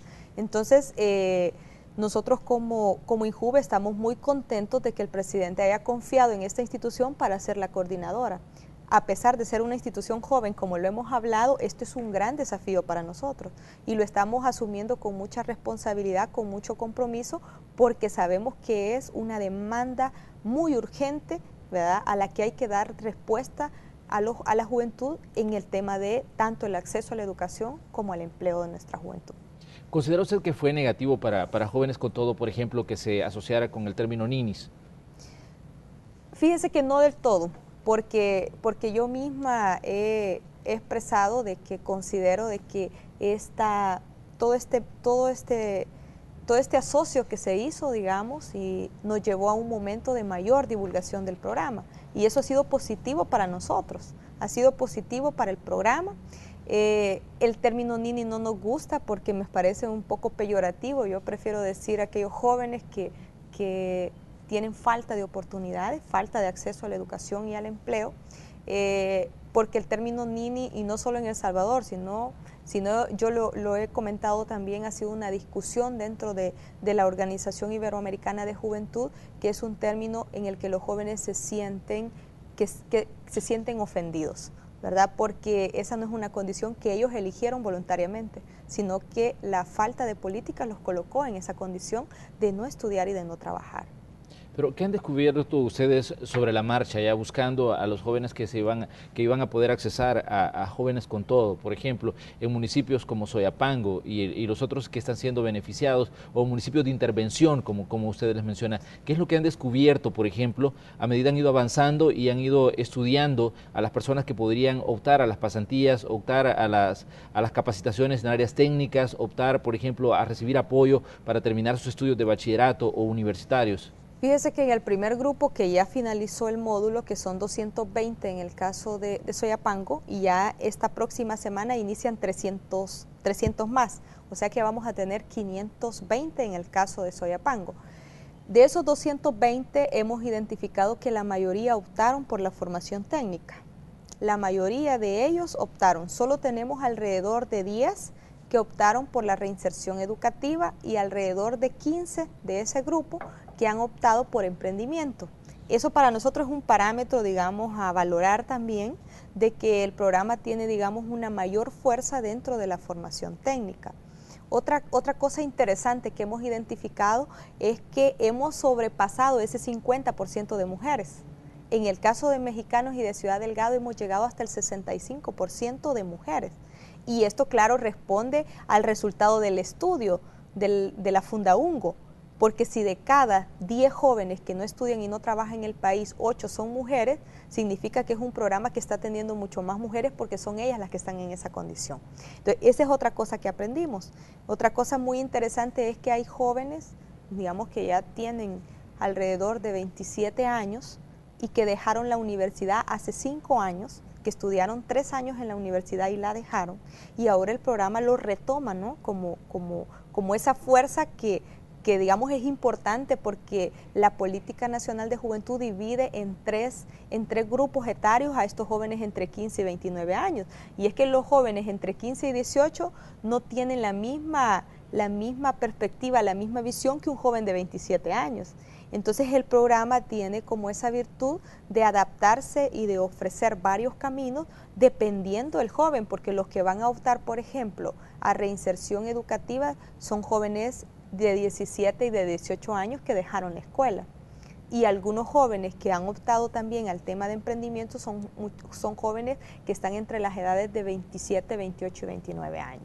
Entonces, esas ya son para nosotros lecciones aprendidas y otra cosa interesante es también que cada grupo de jóvenes, dependiendo el entorno, dependiendo el, el grado de desarrollo del municipio, también es distinto. Por ejemplo, no tenemos un grupo igual a los jóvenes de Soyapango con los jóvenes de Ciudad Delgado. Además, las condiciones de desarrollo también son distintas y ahí nos damos cuenta que instalar, por ejemplo, una mesa con el sector privado en cada localidad es favorable, porque en el caso, por ejemplo, de Soyapango, ¿cuáles son las demandas más urgentes que tiene el municipio? En el tema del plástico. El plástico, la manufactura, eh, el tema de, los alimentos es una de las mayores demandas, entonces los jóvenes van inclinados hacia eso porque ese es como el motor de desarrollo del municipio. Y eso mismo, digamos, no ocurre cuando vamos, por ejemplo, a Santa Ana, donde ya estamos creando condiciones para instalar el programa. Es, digamos, tiene que ver con, con otra realidad. ¿Verdad? Entonces, muy interesante realmente eso para nosotros, es un aprendizaje y eso es justo lo que nosotros vamos a evaluar en este proceso que, que ya está previsto para los próximos meses. ¿cuál, es, ¿Cuál es el nivel, el nivel de, de, coordinación, por ejemplo, con las municipalidades o por hoy no tienen intervención? ¿Por qué? Porque eh, recordemos que esta, toda esta gente va a ser absorbida por, por diferentes... Eh, empresas, digamos, pero este, me gustaría también conocer cuál es la relación que hay con el, con el sector privado para buscar darles oportunidades y qué eh, coordinación hay con las municipalidades, porque recordemos que para un municipio es importante la generación de empleo y es importante también este, generar desarrollo llevando este tipo de programas a los ciudadanos que residen en ese municipio. Fíjese que nosotros, eh, el programa previó hacer una coordinación tanto con el sector privado como con los gobiernos locales. En el caso de Soyapango, que es la experiencia donde tenemos, digamos, más, más fuerte, eh, el alcalde es quien, quien conduce Fundesoy, que es una mesa donde participa todo el sector privado de Soyapango y la conduce la municipalidad y por supuesto el Ministerio de Trabajo, que es quien tiene, digamos, el mandato específico en ese tema, también es parte de ese proceso. Nosotros qué vamos a hacer? Tener preparados a los jóvenes para cuando ellos estén listos de insertarse al mercado laboral, hagamos esa labor de intermediación laboral para colocarlos en un empleo. Claro, quizás habrá eh, con algunos que no sea mucho más fácil la coordinación y la articulación que con otros. Yo debo decir que hemos venido haciendo un gran esfuerzo en el caso de Santa Ana con la municipalidad y el alcalde ha sido muy receptivo hacia el programa, pero su consejo no tanto. Entonces esto nos ha generado, digamos, alguna dificultad para seguir avanzando, pero sabemos que es así un programa, no, no todo lo que, lo que se, se diseña resulta al final como, como está previsto.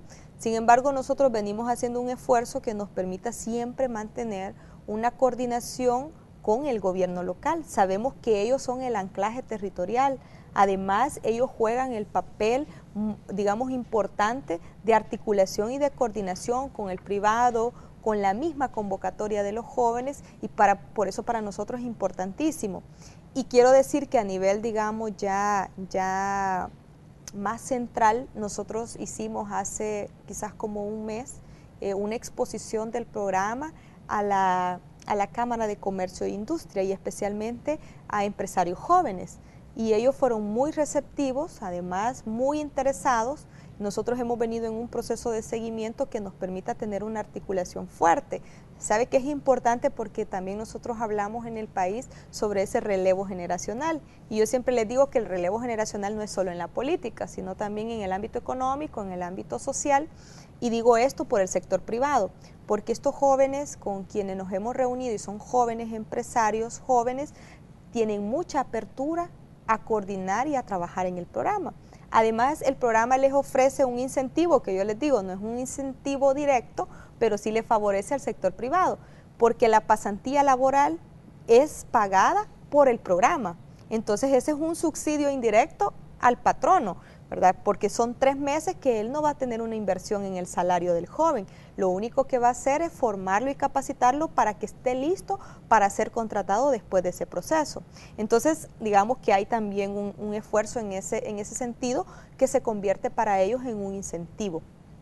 ¿Considera usted que, ha sido negativo, por ejemplo, que, el tema se, politizara? Cuando salió toda la discusión de, los ninis, cuando salió eh, el tema del, del, subsidio, del bono y todos los, términos que, se utilizaron cuando se habló del programa, entró al término, al terreno político de discusión y bueno, al final este, habían comentarios tanto positivos, pero también habían unos muy negativos. Sí, pero sabe que ahí hay otra cosa que yo considero muy positiva y es que vimos a los políticos más mayores hablando en mal del programa, pero yo no vi a los políticos más jóvenes, y me refiero a los diputados, porque tenemos un trabajo muy cercano con la Comisión de Juventud de la Asamblea y con el grupo parlamentario de jóvenes que se ha creado en la Asamblea, y yo a ellos no los escuché ni haciendo menciones en las redes sociales, sino que fueron los más adultos los que hicieron ese rechazo al programa. Y eso me llenó de alegría porque en algún momento hemos hablado con ellos de este esfuerzo y hemos hablado sobre la necesidad que tiene la juventud de que invertamos en sus capacidades y en sus destrezas. Y ellos están totalmente de acuerdo. De hecho, dentro de la agenda del grupo parlamentario de jóvenes está este tema está el tema del acceso al empleo y de crear los, las normas legales que sean necesarias para eso. Y yo eso me llenó de satisfacción y me da la esperanza de que nos podemos poner de acuerdo. Nos podemos poner de acuerdo en un tema que no es un tema de partido, sino es un tema que tiene que ver con el desarrollo del país. ningún país va a avanzar si no invierte en su juventud. Ningún país se desarrolla si no invierte en su juventud. Entonces, esta es una intervención que es estratégica, no para un partido político, sino es estratégica para el desarrollo del país y lo tenemos que ver como eso. Creo que el país necesita que dejemos de verlo solo con ojos partidarios y lo veamos con una visión de país, una visión de nación que nos permite invertir en un grupo poblacional que por muchos años estuvo marginado y estuvo olvidado. Y entonces ahora es urgente, digamos, es indispensable que el gobierno invierta en la juventud si no el tema de la violencia no se resuelve. Yo les decía, ¿cómo, ¿cómo es que se oponen a la inversión en el desarrollo de habilidades y competencias para los jóvenes y están de acuerdo en que se combata la delincuencia? Si en la medida que nosotros generamos oportunidades en nuestra juventud, cambiamos la vida de un joven cuando le generamos un empleo, en esa medida disminuyen el índice de violencia y de inseguridad en el país. Jamie, se habló mucho también del término de, inversión. ¿Cuánto le, va a costar, por ejemplo, al Estado el programa Jóvenes con Todo? Se mencionó algunas cifras, pero me gustaría que, sea usted que, nos diga, como por ejemplo, cómo se va a poner adelante este proyecto y cuánto le, va a costar al, Estado salvadoreño eh, financiar Jóvenes con Todo. Sí, mire. Si nosotros logramos hacer lo que pretendemos, es una inversión sin precedentes en el país. Nosotros necesitamos alrededor de 150 millones de dólares. Pero esto va a tener al país un gran resultado si lo logramos. Hemos invertido ya en otras áreas muchas cantidades de millones de dólares. Y entonces invertir en el país, invertir en la juventud es el camino correcto. Y nosotros aspiramos a eso. Ya este año hicimos 4 millones. Y aquí hay una cosa que a mí me preocupa porque el programa tiene una fuerte inyección de la contribución especial. Y entonces, si el tema se, se, pasa al, ámbito político, y entonces empiezan a desprestigiarlo, y entonces de veras que eso no, no abona al país, porque realmente esta es una inversión estratégica y nosotros esperamos que tanto la cooperación de la Unión Europea que llega el otro año y que son alrededor de 22 millones se sumen al programa se, van, se ha sumado un remanente del Banco Mundial y por supuesto que el gobierno también dentro del Fondo General de la Nación ha puesto una parte. Nosotros también habíamos previsto hacer la negociación de un préstamo con el Banco Mundial.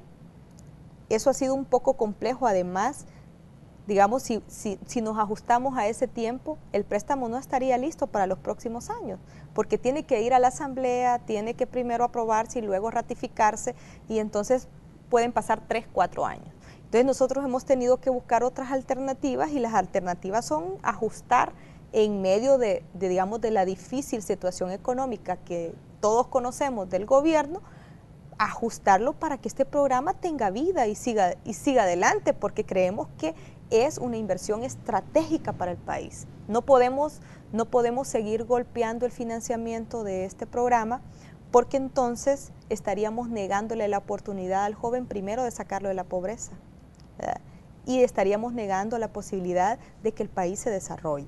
Así es que nosotros aspiramos a eso, pero todavía, digamos, es incierto porque el préstamo está en una fase de negociación. Lo que sí tenemos seguro es las asignaciones que vamos a tener de la contribución. Esperamos que no venga una sentencia y nos diga que no vamos a poder hacer uso de ese dinero porque estaríamos entonces castigando a la juventud salvadoreña.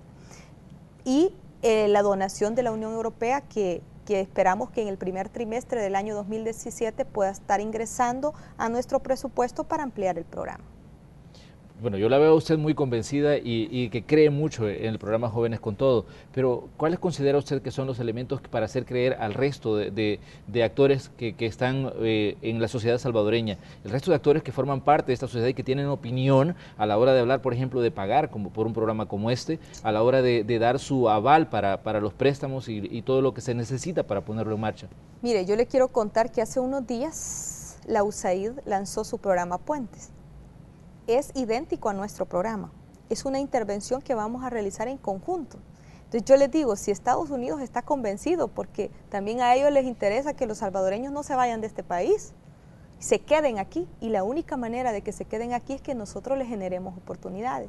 Ellos van a, van a invertir en este programa Puentes 42 millones de dólares. Claro, a nosotros nos alegra muchísimo porque esa es la dirección en la que vamos trabajando, generar oportunidades para los jóvenes. El programa nuestro les ha transferido la metodología, les ha transferido el módulo de habilidades y competencias para la vida para su programa. Entonces, por eso nosotros como Injuve nos hemos dado a la tarea de ir a todos los sectores de la sociedad y compartir el programa y compartir su diseño. Porque cuando la gente lo conoce se da cuenta que esta es una intervención que debemos hacerla inmediatamente en nuestra juventud. Y yo sigo insistiendo, ningún país, hay países que estas intervenciones las hicieron hace 10, hace 15 años. Estados Unidos la hizo en un momento.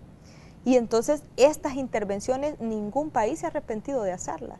Y por eso nosotros, como usted dice, me ve muy convencida porque yo sí creo que el país, la única manera que va a avanzar es que nosotros volvamos esa mirada hacia los jóvenes y les generemos esas oportunidades que se les han negado por décadas.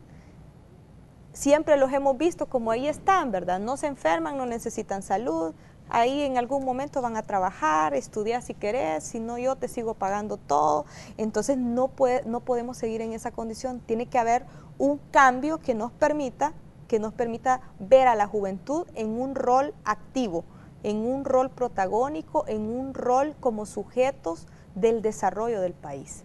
Pero, ¿qué le diría, por ejemplo, usted a los ciudadanos que nos están viendo? Y muchos ya no creen, ya no creen, por ejemplo, en los jóvenes de sus comunidades y, este, y los ven hasta cierto punto ya no como, como parte de su comunidad, sino como un problema de, su comunidad. Pero no son todos. Yo le debo decir de que hablamos de que hay 1.800.000 jóvenes. Hace algún tiempo alguien dijo que habían alrededor de 60.000 mareros. Alguien mencionó esa cifra, ¿verdad? Entonces significa que 60 mil a 1.800.000 hay una gran diferencia. Entonces no todos esos jóvenes que vemos en las comunidades son delincuentes. No, no todos esos jóvenes que están ahí, que se quedan en su casa porque no van a estudiar, no van a trabajar, no están asociados a la violencia. Por supuesto que algunos sí, no vamos a negar eso. Y entonces por eso también el gobierno está haciendo esfuerzos en el tema del combate a la delincuencia, porque necesitamos también resolver ese problema pero hay una gran cantidad de jóvenes que nosotros a veces no los vemos con esa mirada de que son la fuerza de trabajo que el país necesita. Entonces dejamos de invertir en ellos porque creemos que todos son iguales, porque creemos que no sirven para nada, que son haraganes, que son incapaces. Y si los vemos con esos ojos, entonces el país no va a avanzar. Tenemos que verlos con esa mirada de que ellos son el presente y son el futuro del país y son los sujetos que pueden transformar el país. Bueno, con esta frase nos vamos a ir a una nueva pausa comercial. Ya regresamos con más de la entrevista de Hechos AM y por supuesto vamos a conocer también las respuestas a la pregunta que hemos estado formulando en Facebook. Ya volvemos.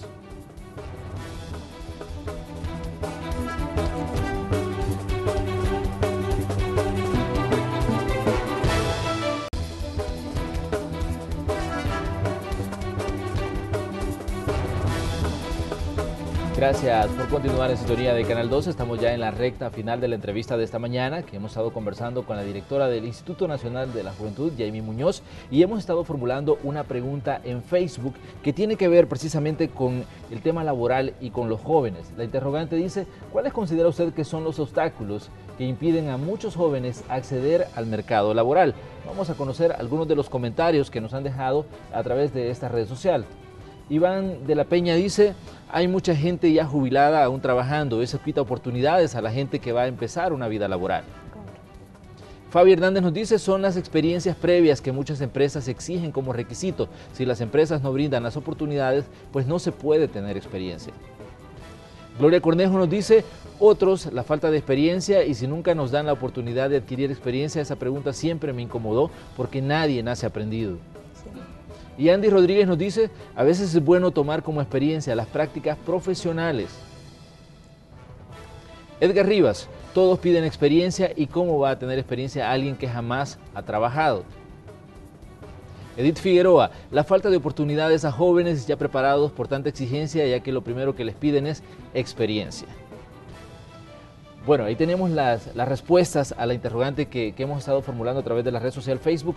Bueno, me gustaría conocer su comentario ante lo que dice la gente a través de redes sociales. Bueno, si ve Manuel es lo que hemos estado hablando, la falta de experiencia es el principal obstáculo de los jóvenes para conseguir un empleo.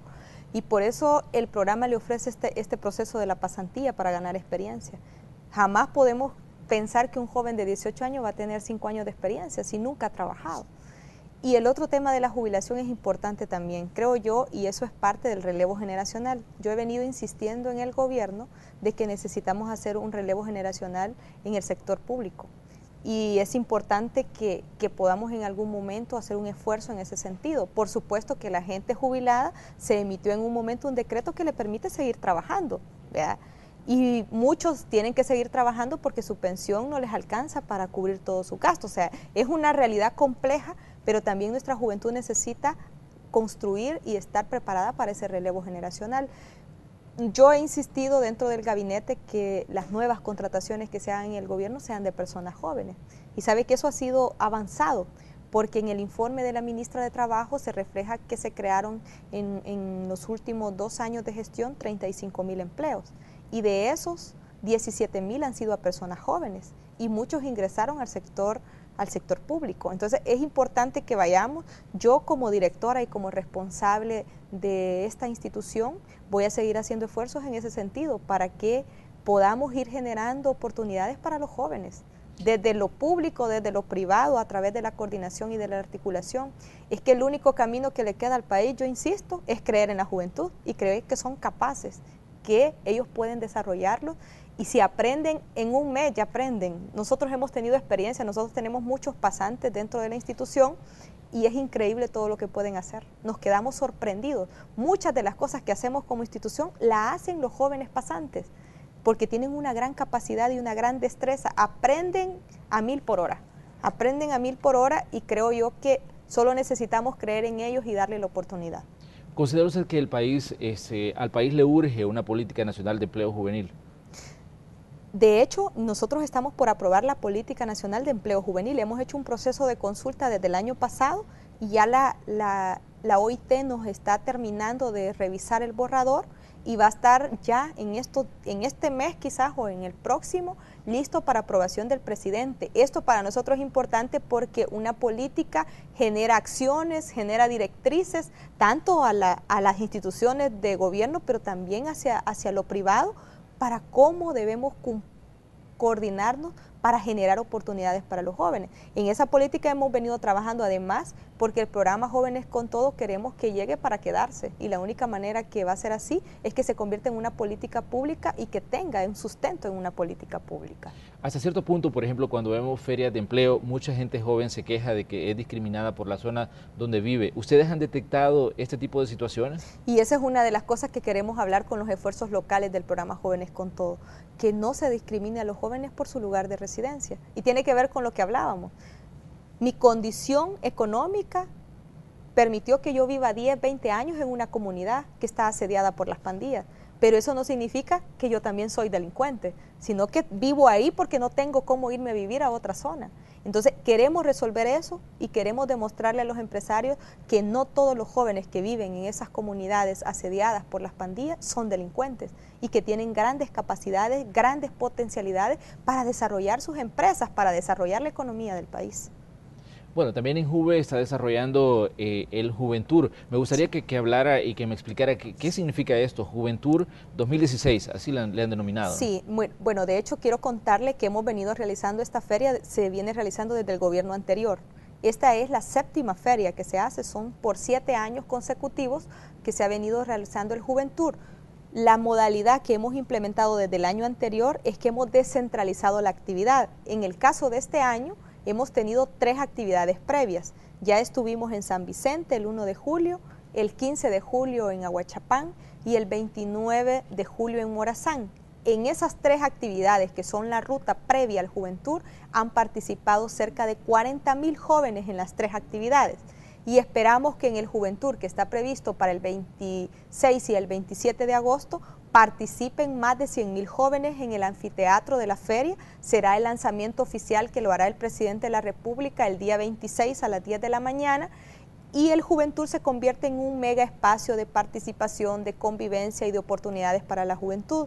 Vamos a tener ferias de empleos, vamos a tener eh, feria de emprendedores, va a haber un concurso de emprendedores y vamos a entregar capital semilla a los emprendedores. Hay un concurso de banda de paz, un concurso de coreografías, eh, vamos a tener eh, por parte de Cancillería el que los jóvenes puedan aplicar a las becas que ofrecen todas las embajadas. Eh, tenemos foros tenemos el Congreso que va a ser el 24 y el 25 de agosto, previsto donde va a participar todas las organizaciones juveniles. Es decir, es un espacio donde la juventud encuentra, digamos, algo que tiene que ver con su identidad. En el país tenemos una juventud muy diversa, muy heterogénea y el juventud genera un espacio de participación, de convivencia para cada grupo de jóvenes dependiendo su identidad. Bueno, Jamie, hemos llegado al, final del espacio de la entrevista. Le queremos agradecer que haya venido a conversar con nosotros sobre Jóvenes con Todo y sobre todo el trabajo de Injuve. No, agradecemos a ustedes por darnos la oportunidad de compartir lo que hacemos. Bueno, así vamos al final de la entrevista de Hechos AM correspondiente este día. Les invitamos a que continúen con la señal de Canal 12 porque ya viene la segunda parte de Noticiero Hechos.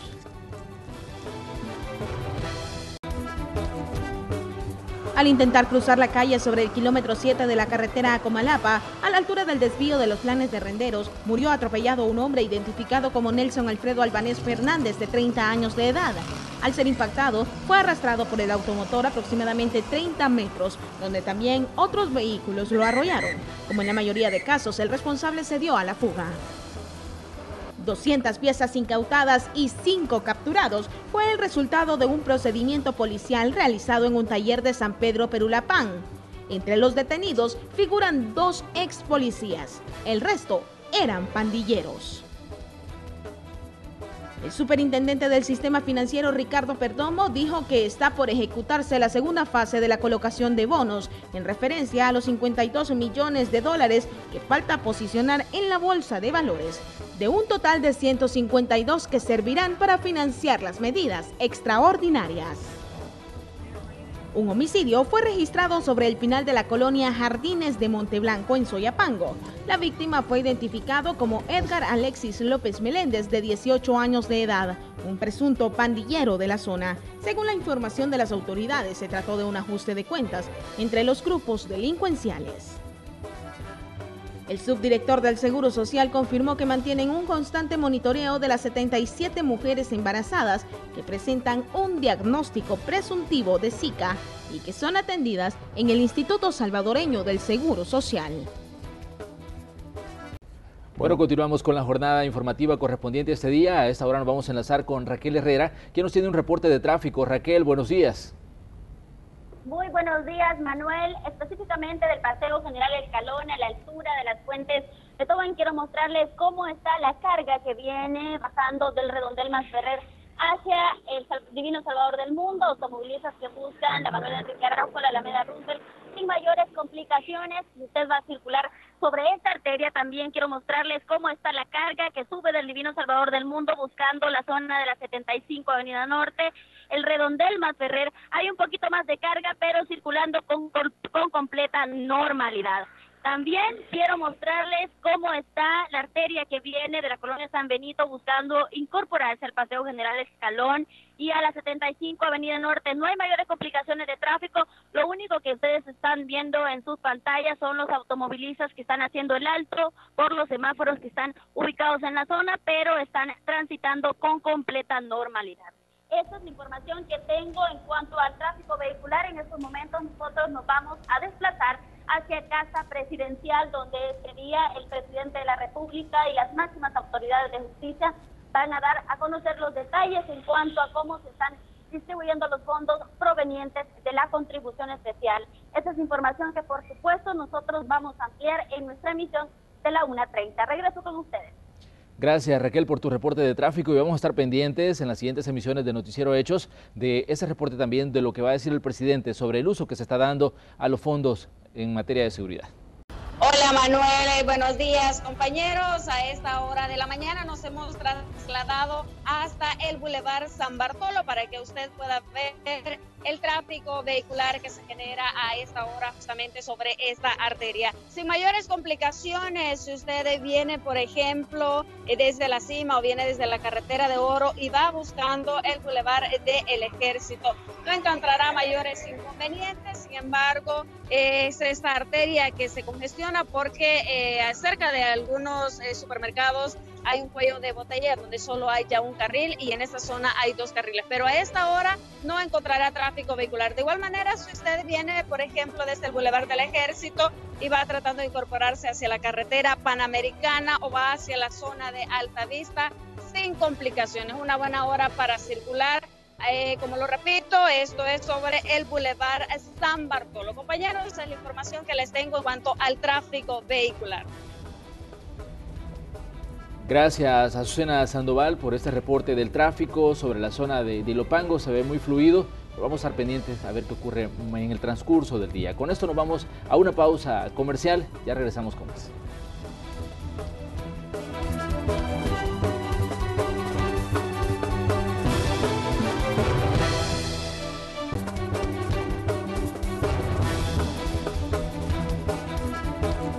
Continuamos con la jornada informativa y permítanos comentarles que durante la semana de vacaciones, un total de 221.966 turistas ingresaron al territorio nacional a través de las fronteras, aeropuerto y puertos marítimos. Las cifras representan un incremento en comparación con el año 2015. Las vacaciones agostinas han quedado atrás y algunos salvadoreños han vuelto a sus actividades diarias luego de pasar las festividades en el extranjero. Estados Unidos, Guatemala y Honduras son algunos de los destinos más visitados por los compatriotas que decidieron cruzar la frontera durante estos últimos días. Durante esta temporada registramos un total de 328.274 personas que pasaron por nuestras fronteras. Esta cantidad de registros migratorios representa un 19% con relación al año 2015. Durante las épocas altas, las fronteras terrestres son el escenario donde diariamente circulan miles de salvadoreños. Pero en estas recién pasadas fiestas, los últimos días fueron los más concurridos. Nosotros tenemos identificado como el día 3 y 4, uno de los días que tuvo mayor repunte en la salida y entrada de nacionales y extranjeros así como también definimos el día 6 como el, el, día que tuvo, eh, tuvimos mayor actividad y el día 2 a donde menos actividad tuvimos. La misma afluencia de personas hace que algunos aprovechen el momento y cometan delitos. Migración, en conjunto con la Policía Nacional Civil, también reportan detenidos por diversas actividades ilícitas. 9 capturas, 50, 50 restricciones y 123 inadmisiones a personas extranjeras que pretendían ingresar a nuestro país. Estas fiestas fueron un verdadero reto para las autoridades migratorias, pues el aumento en el tránsito de personas siempre pone de manifiesto las virtudes y defectos en los pasos fronterizos. Con imágenes de Gonzalo Tejada, informó Inmar Batres. En información política, el principal partido de oposición del país ha iniciado el proceso de elecciones internas, las cuales se celebrarán el domingo 28 de agosto. Conozcamos más cómo se desarrollan los preparativos a continuación. Desde el primero de agosto se dio el banderillazo de inicio al proceso de elecciones internas del partido Arena.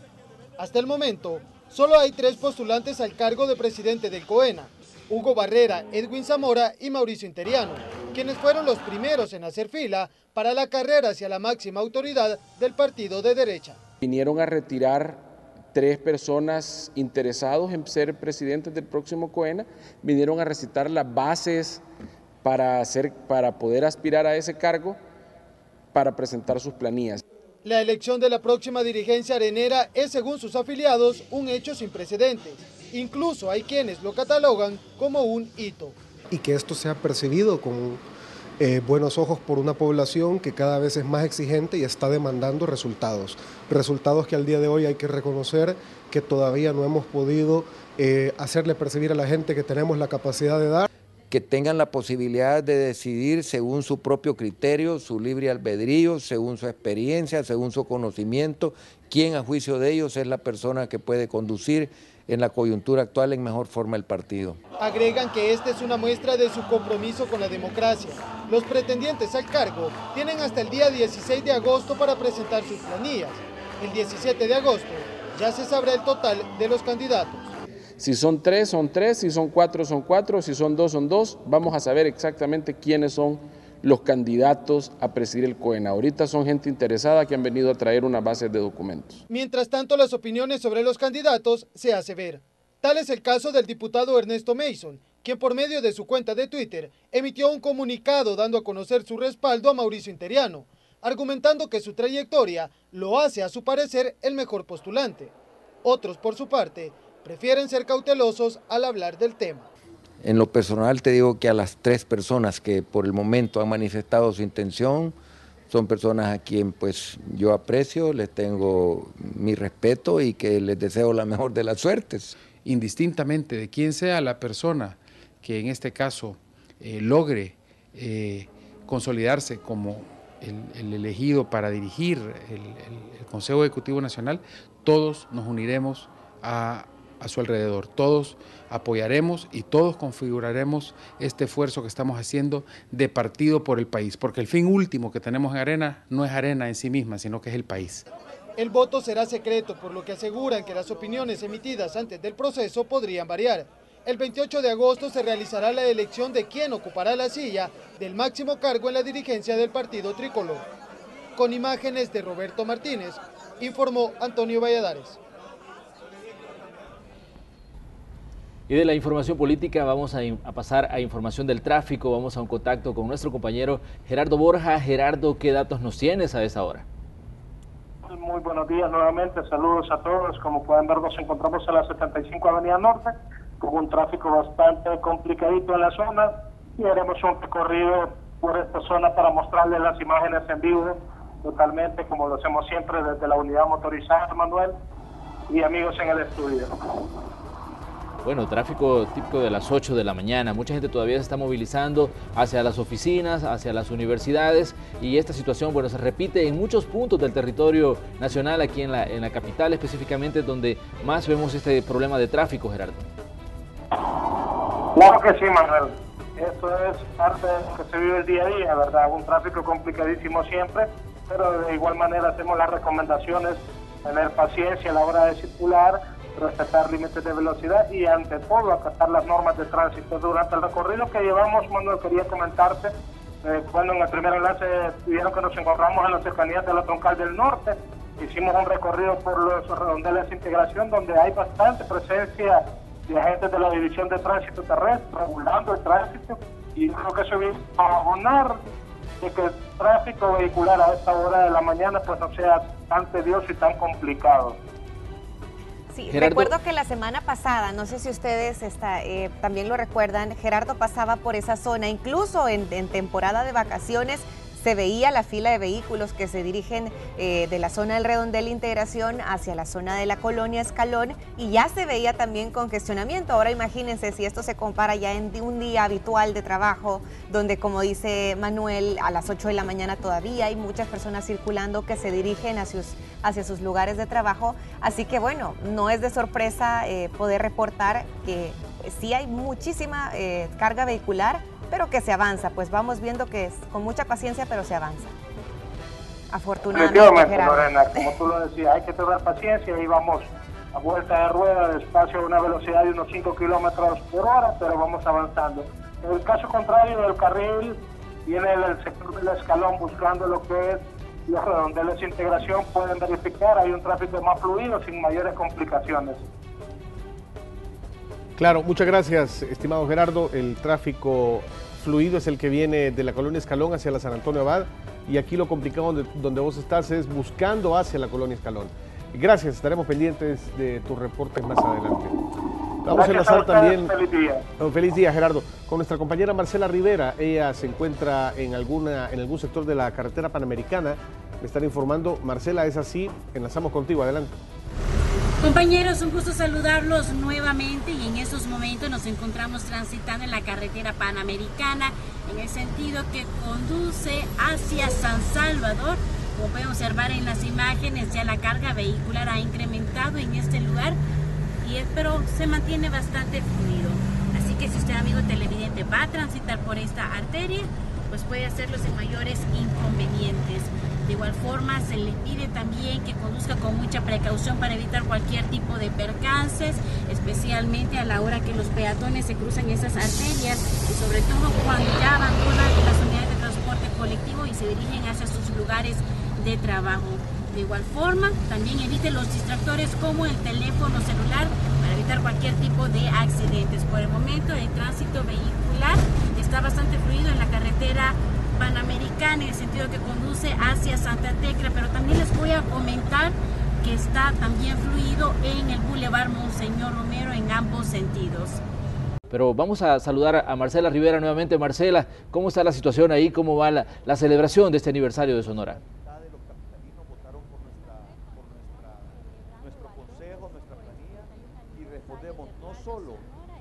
que votaron por nosotros, sino que por todos los capitalinos. Vamos a seguir haciendo nuestro trabajo comunidad. Bueno, creo que tenemos tenemos un poquito de, problemas con, con, el audio de el audio de, de Marcela Rivera. con Marcela Rivera que está haciendo el enlace también con Canal 12, con Noticiero Hechos allá al set. Está Manuel Burgos en pantalla. Hola Manuel, ¿cómo está? También Lorena, está Linda, está eh, Carlos. Celida, me imagino que está enferma, ¿no? Continúa enferma. Sí, bueno, muchos saludos para Celida. Sabemos que está pendiente de nuestro programa. Aquí estamos hablando con Edwin Zamora. Buenos días nuevamente para ustedes allá en Noticiero Hechos. Y bueno, compañeros, continuamos celebrando al doble, uno por el 51 aniversario de Radio Sonora y el otro año también por el programa Buenos Días. En estos momentos me encuentro con la jefa de prensa, Carolina Mengíbar. Muy buenos días, Caro. Coméntanos acerca de tu experiencia acá en Radio Sonora. Pues estamos muy contentos, ya lo decías, estamos celebrando por partida doble los 51 años de Radio Sonora y el primer aniversario de esta nueva era que inició Sonora, pues precisamente hace un año y muy contenta de compartir con Armando y con Roxana Wed y por supuesto con nuestro invitado de lujo, Edwin Zamora, en estos festejos que apenas van comenzando, así que muy pendientes de todas las sorpresas que tenemos preparadas en el 104.5 FM. Así es, así que no sé si quieren hablar con Armando. Que...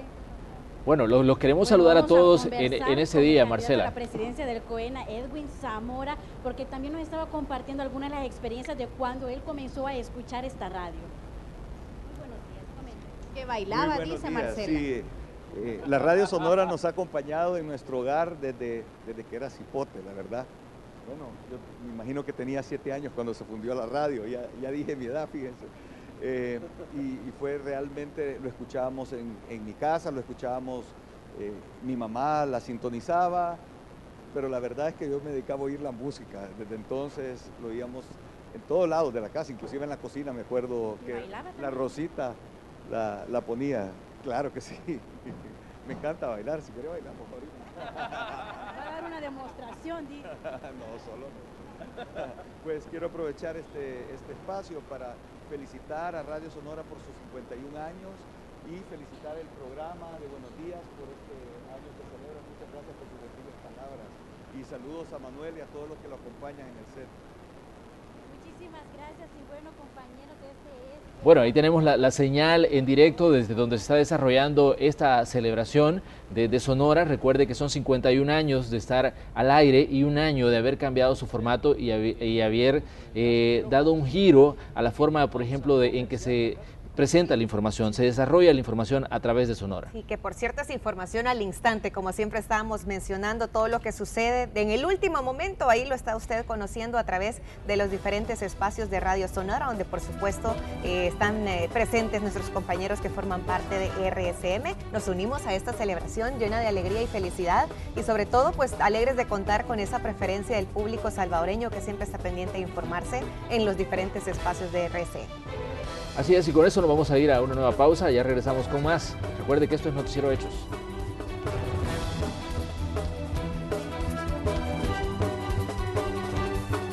Nosotros con esta información estamos cerrando, pero les invitamos a que continúen pendientes de Canal 12 y también pendientes del aniversario de Radio Sonora. Recuerde, Sonora 104.5 FM, información al instante. Tu programa va a estar hoy también en, en locación, ¿no? Exactamente, vamos a estar ahí con De Vuelta a Casa de las 5 a las 7 de la noche, así que desde ya les invitamos a que se mantengan pendientes. Yo los espero en el estudio de Radio Sonora a la 1 de la tarde con Pizarrón Radio. Es que han decorado muy bonito hoy. Hay que, aprovechar. Todos están afuera, pues nosotros en Pizarrón Radio nos vamos a quedar para aprovechar el estudio para nosotros solitos a la 1 de la tarde. Feliz día.